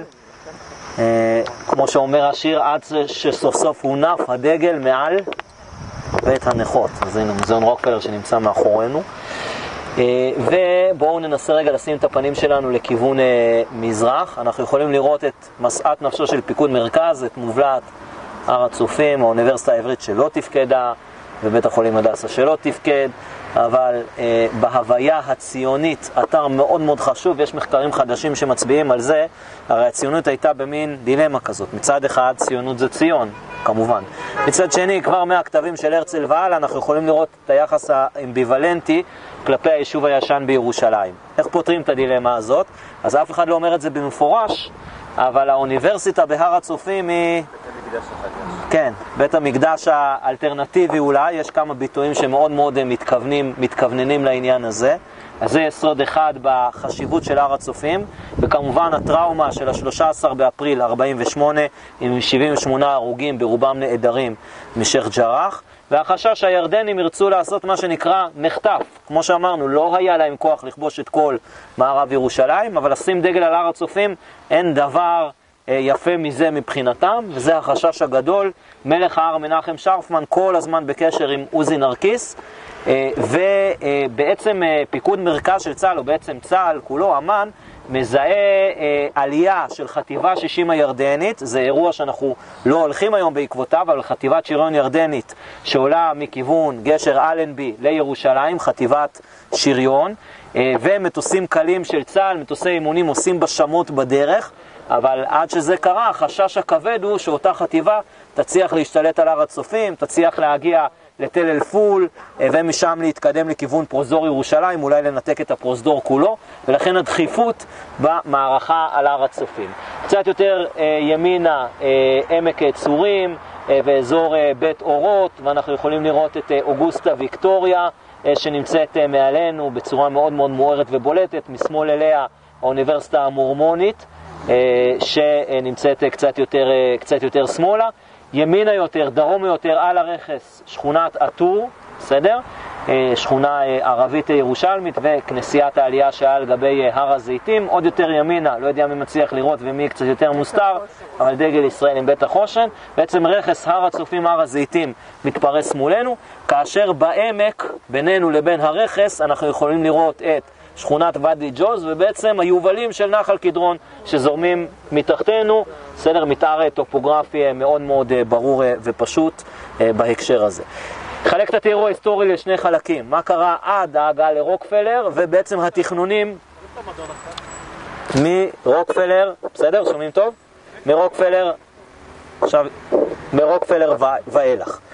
אז אנחנו חוזרים אה, לעלות השחר של יום שלישי בשבוע, היום השני במלחמה. הכוחות של גדוד 28 מתקדמים מבית, ה, מבית הקברות של בבא סיארה, מצליחים להגיע לאזור מוזיאון רוקפלר, קצת נרגעים, חלקם אפילו טיפה שותים מהבר, כותבים כמה דברים בספר האורחים של המלון, שנמצא מאחורינו, פחות או יותר מול השער אה, הפרחים שעברנו על פניו. ואז מגיע המחזה הסוריאליסטי הבא. הם פתאום מבחינים בכמה אוטובוסים שמתחילים להתקדם לכיוונם, מה זה אויב, הירדנים מאגפים אותם, מגיעים ממערב, מה זה הדבר הזה? ומתברר שזה אוטובוסים של חברת המקשר, פלוגת מרגמות שמצטוות לחטיבה, אומרים להם, תגיעו לרוקפלר, הכל בסדר, תגיעו לרוקפלר. מתחילים להתקדם, עכשיו הצנחנים, אחרי לחימה, מבית לבית, רואים אוטובוסים, לא מוגנים, לא משוריינים, לא שום דבר, והחשש הכבד הוא שהעמדות הירדניות של החומה יפגעו בהם. הירדנים כנראה גם בשוק, ובעצם מצליחים לקפוץ פנימה לתוך המלון. אבל יש חשש מאוד מאוד כבד מזה שפצועים או הרוגים נשארו באוטובוסים, כי הירדנים, ברגע שהחיילים מתחילים לקפוץ, גם יורים לעברם, ומתברר שבאחד מהאוטובוסים יש אלונקות ויש פצועים בכוח.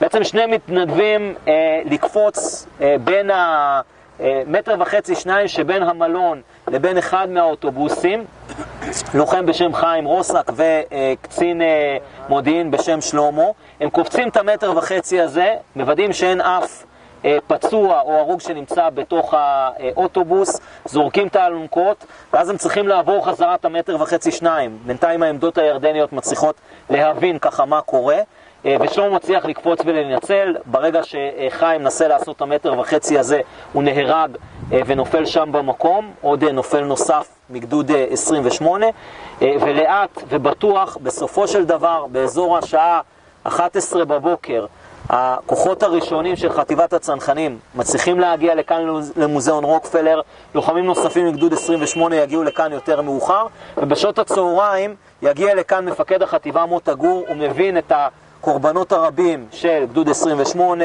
של גדוד 66 של- שלחם בגבעת התחמושת, מתחיל להבין את המחיר, ובואו רגע נתחבר למה שקורה במבט הרחב יותר בלחימה על ירושלים באותן שעות, שעות הצהריים של יום שלישי בשבוע, השישי ביוני.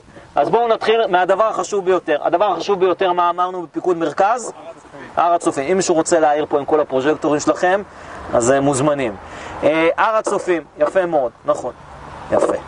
אה, הר הצופים, בשלב הזה, אה, יוצא מהניתוק שלו, של 19 השנים, המובלעת היא כבר לא מובלעת, כוחות של אה, חטיבת הראל, חטיבה 10, מגיעים מאזור תל אל-פול, מצליחים לכבוש את תל אל-פול בשעה 9 בבוקר, ובעצם מהשלב הזה, הדרך להר הצופים פתוחה, די לגמרי. הדרך להר הצופים עושים מגוף מכיוון צפון, יגיע לכאן בשעות הצהריים משה דיין, אומר איזה נוף אלוהי כשהוא עומד על הר הצופים, והמטרה המרכזית של פיקוד מרכז באותן שעות הושגה. סימולטנית, בדרום ירושלים, הקרב הקשה ביותר במלחמת ששת הימים בירושלים הוא, איזה קרב? גבעת התחמושת, זה לא, זו לא הייתה שאלה טריקית. גבעת התחמושת. אם uh, תלוי איך סופרים, 24, 36 הרוגים. אבל הקרב השני, uh, בקושי שלו, מבחינת מספר הנפגעים, הוא קרב הרבה פחות מוכר, קרב שהיה באבו תור. בדיר אבו תור, שם ארבע פלוגות של אה, גדוד המילואים 163 של חטיבת ירושלים, פיקודו של מיכה פייקס, כן, רחוב המפקד בשכונת אבו תור, לוחם שם בקרב מאוד מאוד קשה, שעות הצהריים. של השישי ביוני, 17 הרוגים, כולל מג"ד, קרב אה, שבעצם אה, בסופו צה"ל מצליח לכתר את העיר העתיקה. לא, שריון כמעט ולא מעורב בקרב הזה. בסדר, קרב של חי"ר. המתאר של השכונה לא כל כך מאפשר לשריון להיכנס. בעצם לוחמי צה"ל ב- ב- בעדיפות. אה, גם המג"ד אה, נהרג שם אה, באירוע. בכמה אירועים שם ממש חיילים שוכבים על גדרות תיל ומתקדמים עליהם. Uh, הבעיה באבו תור בניגוד לגבעת התחמושת, חוץ מזה שחטיבת הצנחנים ידעה לשמר היסטוריה, ושלא נשאר שם כלום שקשור לקרבות, בסדר? לכן גם כשמסיירים בשכונה, קשה מאוד מאוד מאוד להבין מה קרה שם. שעות הצהריים, צה"ל מכתר את העיר העתיקה, או יותר נכון להגיד אזור השעה חמש בערב, משלושה כיוונים.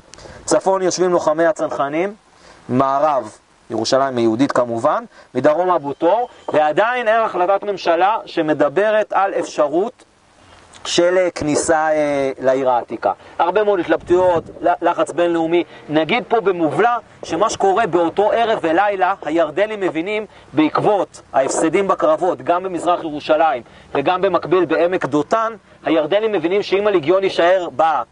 ביהודה ושומרון בגדה המערבית הוא בעצם יושמד כאן.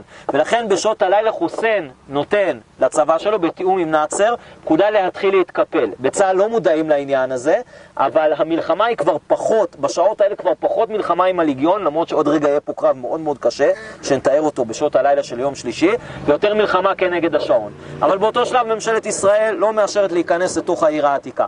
מה כן אה, נרקיס מאשר למוטה גור? הוא מאשר לו לכבוש את רכס אוגוסטה ויקטוריה, שנמצא מעלינו, בסדר? ובעצם לבצע טבעת קיטור מסביב לעיר, לעיר העתיקה, ואז כשתהיה אפשרות, אם יהיה, יהיה אפשר להיכנס נימה לתוך העיר. זה במבט הרחב.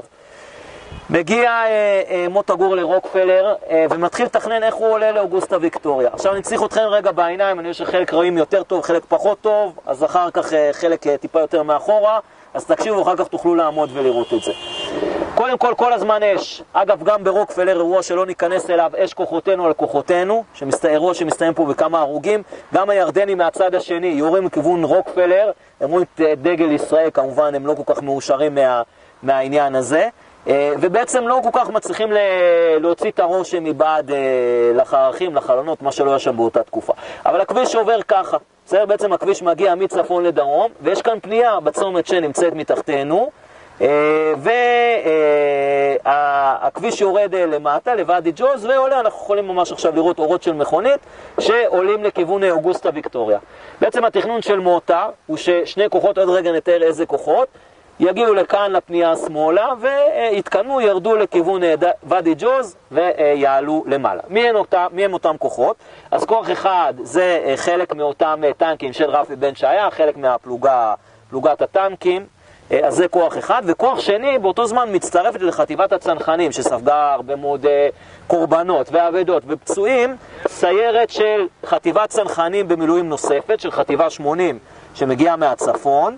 מפקדה הוא מיכה קפוסטה, מוותיקי פעולות התגמול, מאיר הר ציון נמצא כאן, וישי צימרמן, לוחמים ותיקים מאוד מפעולות התגמול של צה"ל, מחפשים מה שנקרא עבודה במלחמה, רואה מוטה גור כי טוב, מצוות אותם לכוח הטנקים של רפי, והתוכנית היא כדלהלן.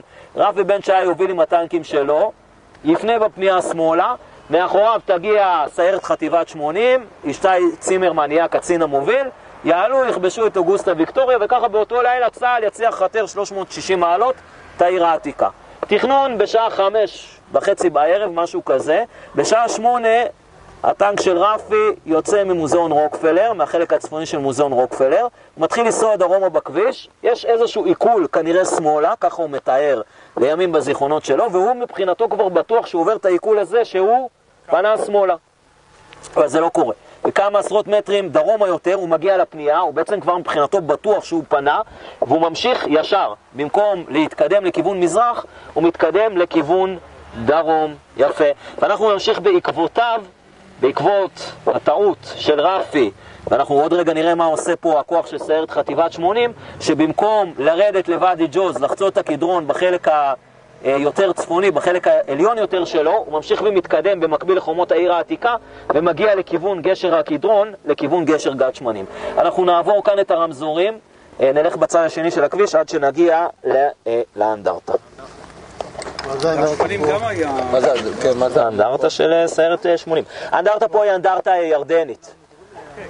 האנדרטה ירדנית נשמרה כחלק מהסכמי השלום עם ישראל. זה ואדי ג'וז? ואדי ג'וז, כן, כן, מתחתנו. כל הבתים האלה לא היו לפני 56 שנים. העיר העתיקה, שער האריות, השער הראשי למזרח מעבר אלינו, שער הרחמים. תסתכלו רגע, האמת שרואים אותו די יפה. רואים, כן, ודאי שהוא סגור. רואים איזה מגדל בחומה, בסדר? בעצם שער נמצאים, השער, שער הרחמים, שער הזהב במסורת הביזנטית, עוד רגע נראה איך הוא מתקשר אל הסיפור שלנו. לא, לא, שער הרחמים. שער האריות כאן, עוד רגע נעלה.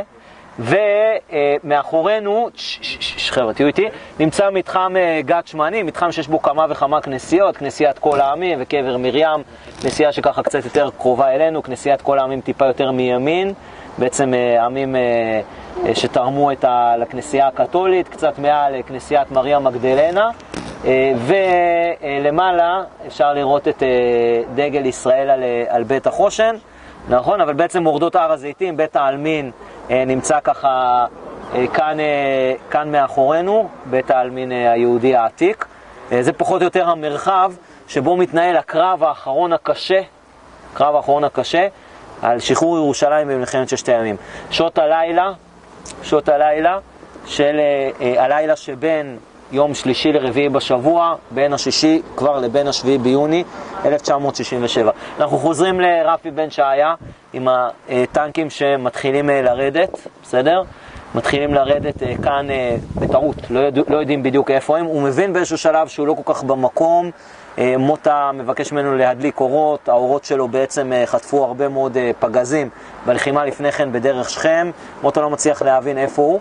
ברגע שהוא מגיע פחות או יותר לאזור שלנו ומתקדם לכיוון הגשם, גשר, מזהות אותו העמדות הירדניות שעל גבי שער החמים, מתחילות להמטיר עליו אש תופת.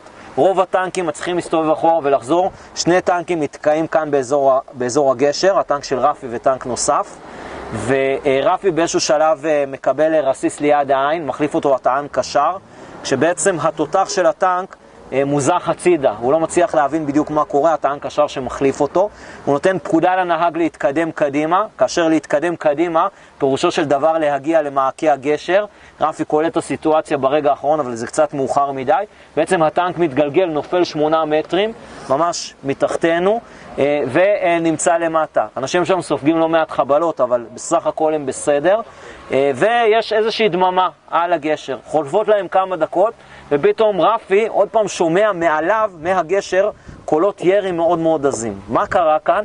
מתברר שישי צימרמן שהוביל את סיירת חטיבה 80 עשה בדיוק את אותה טעות של רפי, וגם מגיע עם הכוח שלו לכאן לאזור הגשר, ותוך כמה דקות הקרב שהתחיל כקרב התקדמות, עוד פעם אני מזכיר, המטרה היא להגיע לאזור אוגוסטה, הופך להיות קרב של חילול פצועים, ונקדים את המאוחר ונגיד שהיו כאן חמישה הרוגים בקרב האחרון הקשה, קרב שמתרחש בשעות הלילה, עד לאזור 12-1 בלילה, ובעצם מורכב כמעט כולו מחילוץ פצועים. כאן במקום, מגיע לפה אה, מאיר הר ציון ומיכה קפוסטה, אה, ואירוע מאוד מאוד אה, מורכב שמתרחש אה, במקום. וברשותכם, אני אתייחס אה, לסיפורם של אה, אה, שני אה, לוחמי צנחנים. אה, אני אשמח אה, פה אה, לפנס, אה, בשביל שתוכלו גם אה, ככה טיפה אה, לראות את, הדמויות אה, לידכם. אה, ואחד מהם, אה, אדם, בחור בשם אה, ישראל אה, שינדלר, אה, שככה אה, נמצא אה, כאן אה, בתוך, ה, בתוך הכוחות, ישראל שינדלר, אה, ילין הונגריה, אה, עם אה, עשרה אחים ואחיות, אה, משפחה אה, חרדית, אבל אה, כבר שהוא אה, אה, לומד, עולה לארץ, ככה מצליחים אה, לברוח מהשואה, ברור לו שהוא יתגייס, לומד בישיבה, ברור לו שבבני ברק, אם אני לא טועה, ברור לו שהוא יתגייס לצבא ומצליח אה, להתקבל אה, לצנחנים, אומרים לו, אתה לא תצליח להסתדר אצלנו, אנחנו עושים אה, סדרות בשטח ואוכלים מה שמוצאים, אם זה קיפודים, אם זה דברים אחרים, מתעקש ומצליח אה, להישאר אה, כאן, אה, כאן במקום. והוא מתאר, יצא לי להיות לפני, אם אני לא טועה, לפני 12 שנים, בסיור פה עם אח שלו, הוא מתאר שהוא מגיע יחד עם המפקד שלו, עם אה, יעקב אה, בוכמן, חובי, ככה קוראים לו החבר'ה, אה, ואומר לו בוכמן, אנחנו עכשיו מחכים, בעצם כל כמה דקות הירדנים מרימים פצצת תאורה, מעלינו, ואנחנו בואו נחכה שהיא תרד ואנחנו ניכנס פנימה לגשר ונחלץ פצועים. מחכים באמת שהפצצה אה, תרד. הם נכנסים פנימה לתוך הגשר, אה, שינדלר מצליח אה, להוציא פצוע אחד, בוכמן מצליח להוציא פצוע שני, והם מוציאים אותם החוצה. והפצועים... השרירניקים או של?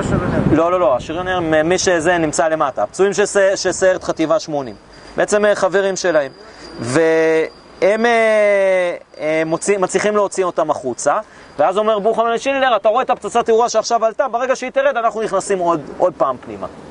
שינלר נותן בו ככה איזה מבט, שללא מילים מבטא את השאלה, אין מישהו אחר שיעשה את זה? ואומר לו בוכמן, לא, אין מישהו אחר שיכול לעשות דבר כזה. היום שמעתי ראיון עם הבן שלו, שבעצם הרבה מאוד אנשים נכנסו פה לחלץ פצועים. ושינדלר בסופו של דבר מקבל את עיטור העוז על, ה, על המעשה שלו. למה הוא קיבל את עיטור העוז? ככה טוען הבן שלו, ואני חושב שיש בזה הרבה מאוד מידה של צדק. מכיוון שהוא היה בין היחידים שראו את הזוועה על הגשר ונכנסו פעמים נוספות כדי לחלץ פצועים. הוא נכנס פעם נוספת יחד עם בוכמן שמקבל כדור ונהרג שם במהלך חילוץ הפצועים. והוא בעצם אה, מגיע ללוחם נוסף, אה, פצוע כולו עם גוויות ככה, מנסה איכשהו לפחות להקל על הסבל שלו, ותוך כדי הטיפול בו הוא סופג, אותו אה, אה, לוחם אה, פצוע, סופג כדור ונהרג. שינדלר מבין שעוד רגע הוא גם לא יסיים אה, בחיים את האירוע הזה. הוא בעצם נתלה על מעקה הגשר וקופץ לאותם שמונה מטרים, נוקע את הרגל במהלך הקפיצה, אבל הוא מתאר שכאשר הוא מגיע לקרקע, לקרקע הקדרון, הוא נזכר, כך הוא יגיד לימים, בהלכה של הרמב"ם, בהלכות מלכים ומלחמותיהם, שמאחר שייכנס אדם בקשרי המלחמה, לא יחשוב לא באשתו ולא בילדיו, אלא ידע שעל ייחוד השם הוא עושה מלחמה, והוא נכנס עוד פעם לגשר כדי לחלל פצועים, הוא מגיע בסופו של דבר באופן עצמאי לתחנת איסוף הפצועים, הוא טוען שהוא כנראה בסדר סך הכל, אבל החובשים רואים שהידיים שלו מפוחמות לגמרי, וכך הוא מסיים כאן את המלחמה. אמ, ובסופו של דבר, לצערנו הרב, שש שנים מאוחר יותר, הוא נהרג בקרב בחווה הסינית במלחמת יום הכיפורים, אבל כאן, כאן, אה, יחד עם אה, אה, בוכמן ויחד עם לוחמים נוספים, קרב גבורה, מצליחים לחלץ את הפצועים, אבל בסופו של דבר, ברור למוטה גור, ברור לעוזי נרקיס, ברור לצה"ל כולו, שבאותו הלילה כבר לא יצליחו להגיע לכיוון אוגוסטה ויקטוריה. מוטה גור מנסה לקדם כוח אחר בשעות הקטנות של הלילה, אבל יש ידיעות שמתבררות כלא נכונות על כך שטנקים ירדנים מתחילים להתקדם לכיוון אוגוסטה, ולכן דוחים את כל העסק הזה לשעות הבוקר. במהלך השעות הקטנות של הלילה, מצליחים אה, שרי ממשלת ישראל, אה, ויש אה, הרבה מאוד טענות ומענות על הקרדיט, מי עשה את זה, האם מנחם בגין, האם זו הייתה יוזמה של אלון, של משה דיין, כך או כך, בסופו של דבר, בסופו של דבר ממשלת ישראל מחליטה בשעות הקטנות של הלילה על כך שיש אישור להיכנס פנימה לתוך העיר העתיקה. חברות חברים, כמו שאמרנו באותו זמן, המלחמה היא כבר לא נגד הירדנים, זאת אומרת הקרב האחרון מתחיל בשעה שמונה בלילה, אלא כנגד הזמן, מכיוון אה, בימים הראשונים של המלחמה, הרי מצרים החצינה כלפי חוץ שהיא מנצחת, שהם מפגיזים את תל אביב, ושהמטוסים שלה עושים שמות בחיל האוויר הישראלי, אז מועצת הביטחון לא התערבה. ברגע שצה"ל מתחיל, מתחיל לנצח, אם זה בחזית המצרית ואם זה בחזית הירדנית, מזכיר שהחזית הסורית עוד לא נפתחה באותו השלב, אז מועצת הביטחון נסעה לכפות החלטה להחלט, להפסקת אש, והקרב בשלב הזה ובאירוע הזה הוא כנגד הזמן. בשעות הבוקר כוחות של חטיבת הצנחנים, גם מאזור הר הצופים, מי שהזכיר כאן את גיורא אשכנזי, גדוד 66, נכון, וגם מאזור מוזיאון רוקפלר, מתחילים להתקדם ומצליחים לכבוש את אוגוסטה ויקטוריה, ואז מתאר מוטה גור בספר הזיכרונות שלו, שהוא מחפש מקום שיש לו לא רק ערך אסטרטגי וצבאי, אלא גם ערך היסטורי. הוא מוצא אה, ליד אה, מלון אה, שבע הקשתות את המקום שממנו הוא נותן את פקודת הכיבוש לעיר העתיקה באזור השעה תשע בבוקר בשביעי ביוני, ואנחנו אה, נשמע... נדב, נדב, רק על כן, נתון שאתה אמרת ש... שצה"ל לא ידע, שהלגיון מתחיל אה, לסגת. כן. באותו לילה, הקרב הזה הביא להבנה את מפקד הלגיון בעיר העתיקה שאין לו סיכוי סיכוי. לשרוד, והוא ברח. ואז הם, וזה מה ש... כן. ה- ברחו. כן. גרם להם לברוח, זאת אומרת הקרב הזה של הטעות בסוף גרם להם להוציא את כל הכוחות מהעיר העתיקה. הקרב משמעותי. מפקדי הגדודים, אנחנו יושבים על הרכב שצופה אל העיר העתיקה. ועוד מעט אנחנו עומדים להיכנס אליה. נתחיל מההתחלה. מפקדי הגדודים, אנחנו יושבים על הרכב שצופה אל העיר העתיקה. ועוד מעט אנחנו עומדים להיכנס אליה. העיר העתיקה של ירושלים, שמאז כל הדורות חומדים עליה ושואפים אליה. אנחנו נהיה הראשונים להיכנס אליה.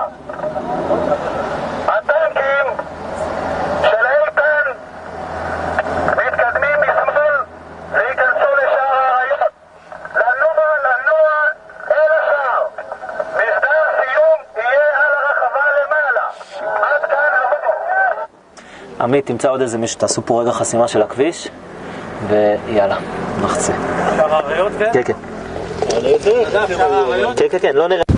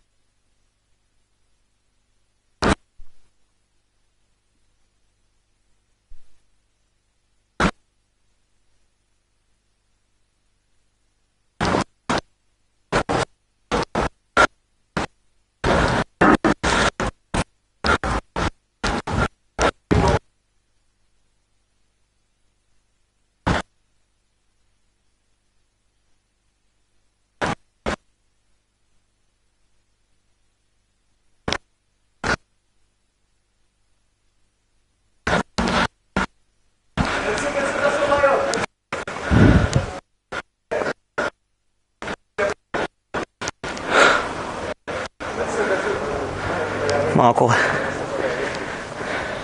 בואו, שבו פה. מי שרוצה לשבת. בית קברות. בית קברות של שער הרחמים. שער המזרחי הראשי של העיר העתיקה. סמלי האריות הם ככל הנראה בעצם אה, סמלים שהסולטן סולימאן שבונה את חומות העיר העתיקה רוצה להראות שהוא ניצח את בית המלוכה הממלוכי שהיה לפניו, שאלו היו סמליו, ואנחנו נתחיל ללכת ברחוב ויה דולורוזה.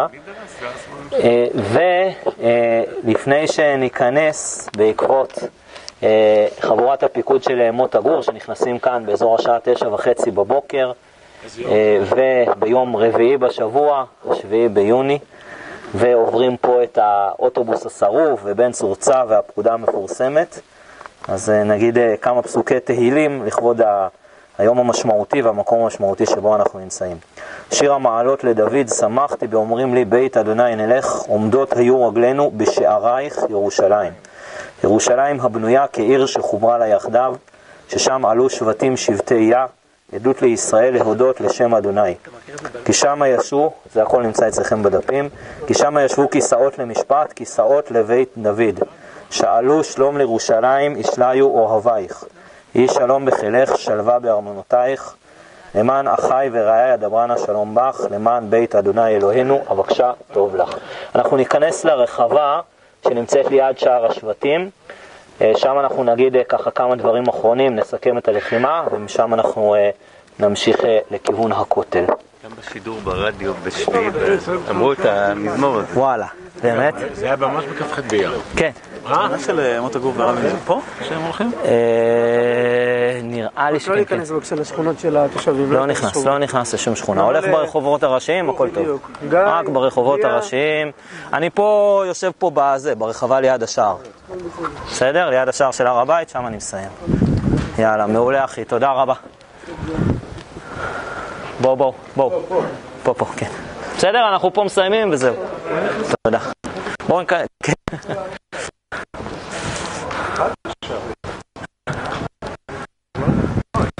זה לסיור אחר.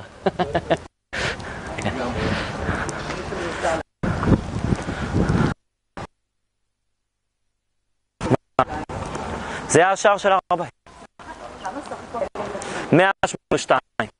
182. זה המון יחסית לכמה שאנחנו יש אה, זה קצת משליש, נכון? זהו, זה מזכיר לי את אה, כמה שאנחנו מלחמת כן. הקומית, גם כן שליש. כן. וואו, זה סימב- סימבולית.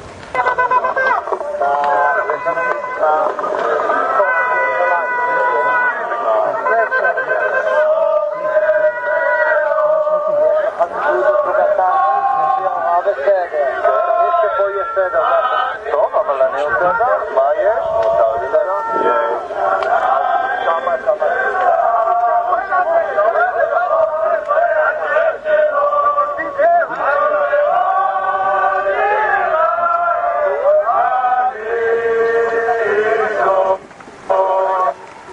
מה ששמעתם עכשיו זה בעצם אה, התקיעות של הרב גורן כמובן, ושיר ירושלים של, של זהב של הצנחנים בכותל. אחרי הכניסה משער האריות, אה, מוטה אה, מגיע לכאן עם החפ"ק שלו, לשער השבטים, שער הצפון-מזרחי של הר הבית. רואים גם כאן אופנוע עם חשש למלכוד והפקודה המפורסמת בפעם השנייה בן סורסה. מתחיל להיכנס לכיוון רחבת הר הבית. אני אסיים כאן את ההליכה המיוחדת שלנו, אנחנו נלך בצורה מנהלתית כמובן גם לכיוון הכותל, בכמה וכמה תמונות, לא תמונות שאני אראה, אלא תמונות שאני אספר עליהן. תמונה אחת היא תמונה אה, שרגע אחרי ההגעה למרכז אה, הר הבית, לאזור כיפת תומר, מגיע יורם זמוש למוטה, ואומר לו, אתה הבטחת לי אה, שאני אהיה הראשון שיגיע לכותל המערבי. הוא אומר לו, מוטה, סע. ואז הוא מתאר שרגע לפני שהוא יוצא מחבורת הפיקוד הוא מרגיש שזה מכה אדירה על הגב שלו, והוא רואה את משה סטמפל, בחור גוץ אבל עם הרבה מאוד כוח, אומר לו, אני בא איתך. והם רצים אה, ומוצאים דרך הסמטאות את הכותל המערבי ותולים את הדגל של משפחת כהן מהרובע היהודי במלחמת העצמאות. סטמפל ייהרג מאוחר יותר במלחמת ההתשה בוואדי שובש, אבל אה, כאן אה, תולה את הדגל מעל הכותל המערבי. וניתן עוד כמה תמונות. באותו זמן, ממש באותן שעות, פועלת לה חטיבת ירושלים. כוח של חטיבת ירושלים של גדוד 163, שבעצם נמצא במצב מאוד מאוד קשה אחרי ההרג של 17 לוחמיו, ישנים באזור האוניברסיטה העברית, ולמחרת בבוקר סגן אלי קידר, אחד ממפקדי הפלוגות של הגדוד, לוקח את הלוחמים שלו מהר ציון, המטרה שלהם היא להיכנס לעיר העתיקה במקביל לצנחנים, הוא חושש ממיקוש בשער ציון, והוא מגיע לשער האשפות.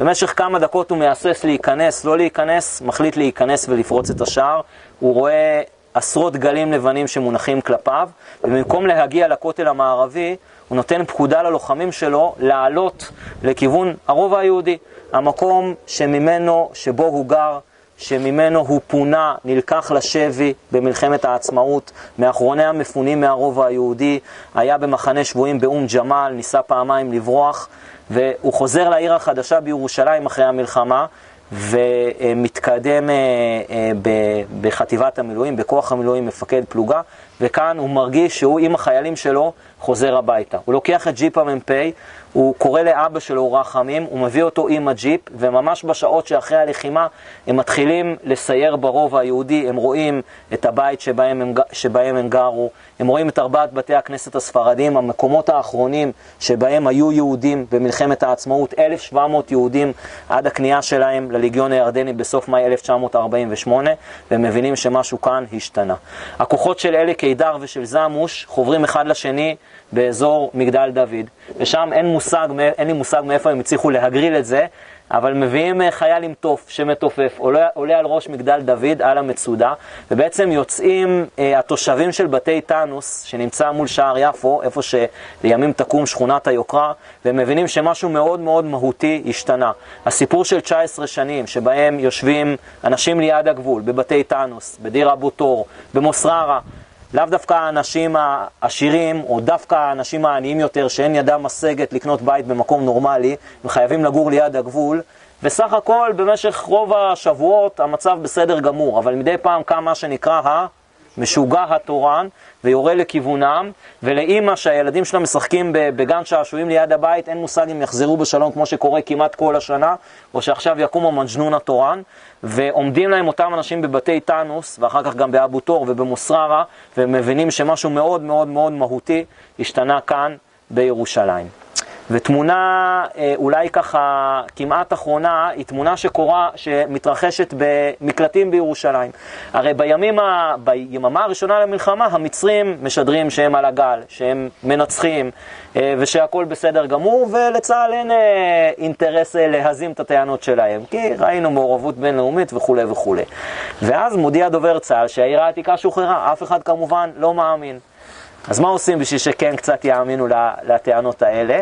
ככה אבא שלי מספר, שמסתובבים אה, חיילים של הגה במקלטים בירושלים ומחלקים סיגריות ירדניות. וואלה. עישנת. לא, אבל... את עדיין זוכרת את הטעם. אה, וברגע שזה קורה, אז באמת אה, מבינים שמשהו כאן השתנה.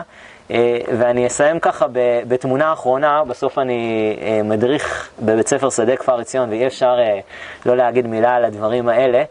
בערבו של אותו יום יוצא כוח של חטיבת ירושלים מג'בל אבו רנים, מאזור הר חומה של היום, נכנס לבית לחם, כובש אותה כמעט ללא, ללא קרב. וכוח של הסיירת, פיקודו של יוסי לנגוצקי, מתחיל להתקדם דרומה. ומגיעים וכובשים את אה, גוש עציון אה, כמעט, אה, כמעט ללא קרב.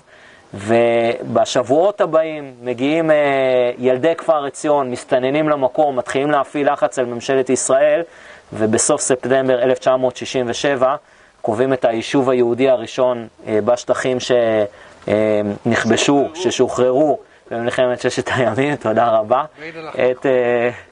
מיידלח, תעלו, כן, את, אה, את כפר עציון, וכאן אה, הסיפור ההיסטורי נסגר. נציין שאחד מההרוגים בקרב גבעת התחמושת, אה, מאיר שנור, היה מילדי כפר עציון, ובעצם באזכרה שלו הם מחליטים שהם מתיישבים מחדש במקום. חברים יקרים, הייתה לי חוויה טובה, אני מקווה שגם לכם. אני חייב להגיד באופן אישי שבמהלך שלושת השנים האחרונות, אה, לא ביצענו את הסיור הזה בגלל הקורונה ובגלל אה, אה, שומר החומות, ולשמחתנו המצב בירושלים ככה קצת יותר טוב ורגוע, ונקווה ששנה הבאה או מתישהו נוכל להמשיך מכאן גם ככה ישירות דרך שער השבטים, בדיוק. אה, זהו, אז תודה רבה לכולם. אה, שנייה, שנייה, רגע, דגש פתיחותי אחרון. אנחנו נלך מהכותל, תעשו מה שאתם רוצים, בסדר? אה, עד הכותל אנחנו נלך בצורה מנהלתית מהודקת, אז לא ללכת, לא להישאר פה, בסדר, ולא ללכת אחורה. מי שרוצה לפרוש יכול להגיד ככה שלום יפה, אבל עד הכותל אנחנו הולכים ישר, בסדר, לא לפנות לא שמאלה ולא ימינה, נגיע אה, לצומת עם רחוב הגיא, נפנה שמאלה, ניכנס לכותל, אה, ותודה רבה אה, לכולם. מאיר שנור, אבא שלו נהרג בכפר עציון? לא, לא, אבא שלו לא נהרג. איפה הוא?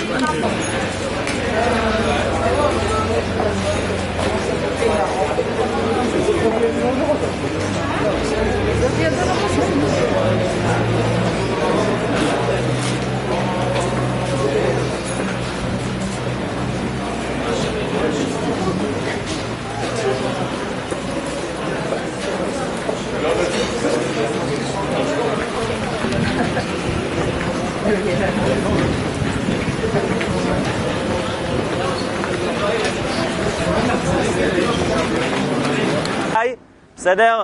כנראה... כן, מי שרוצה יכול, עוד פעם, אחריות ביטחונית וכולי, אה, החלטה, כל אחד החלטה שלו.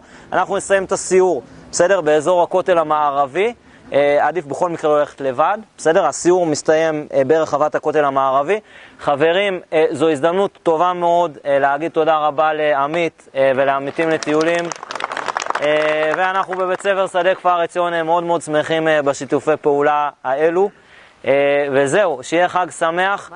אה, אנחנו, שנייה, שנייה רגע, אנחנו נלך פה לכיוון אה, רחבת הכותל, בסדר, ענייני תחבורה וכולי, עוד פעם, כהצעות, כי הסיום מסתיים שם. מי שרוצה, אני אחרי שנייה רגע בשירותים, אני אעלה ישר דרך השוק לכיוון כיכר צה"ל, שער יפו, מקווה שעדיין נצליח לתפוס רכבת קלה, אם לא מוניות או משהו כזה, לכיוון הרכבים. מעריך שגם יהיה אוטובוסים עדיין באזור רחבת הכותל.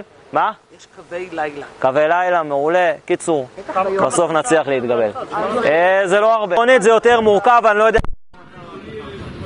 לכיוון שער- כיוון שער שכם.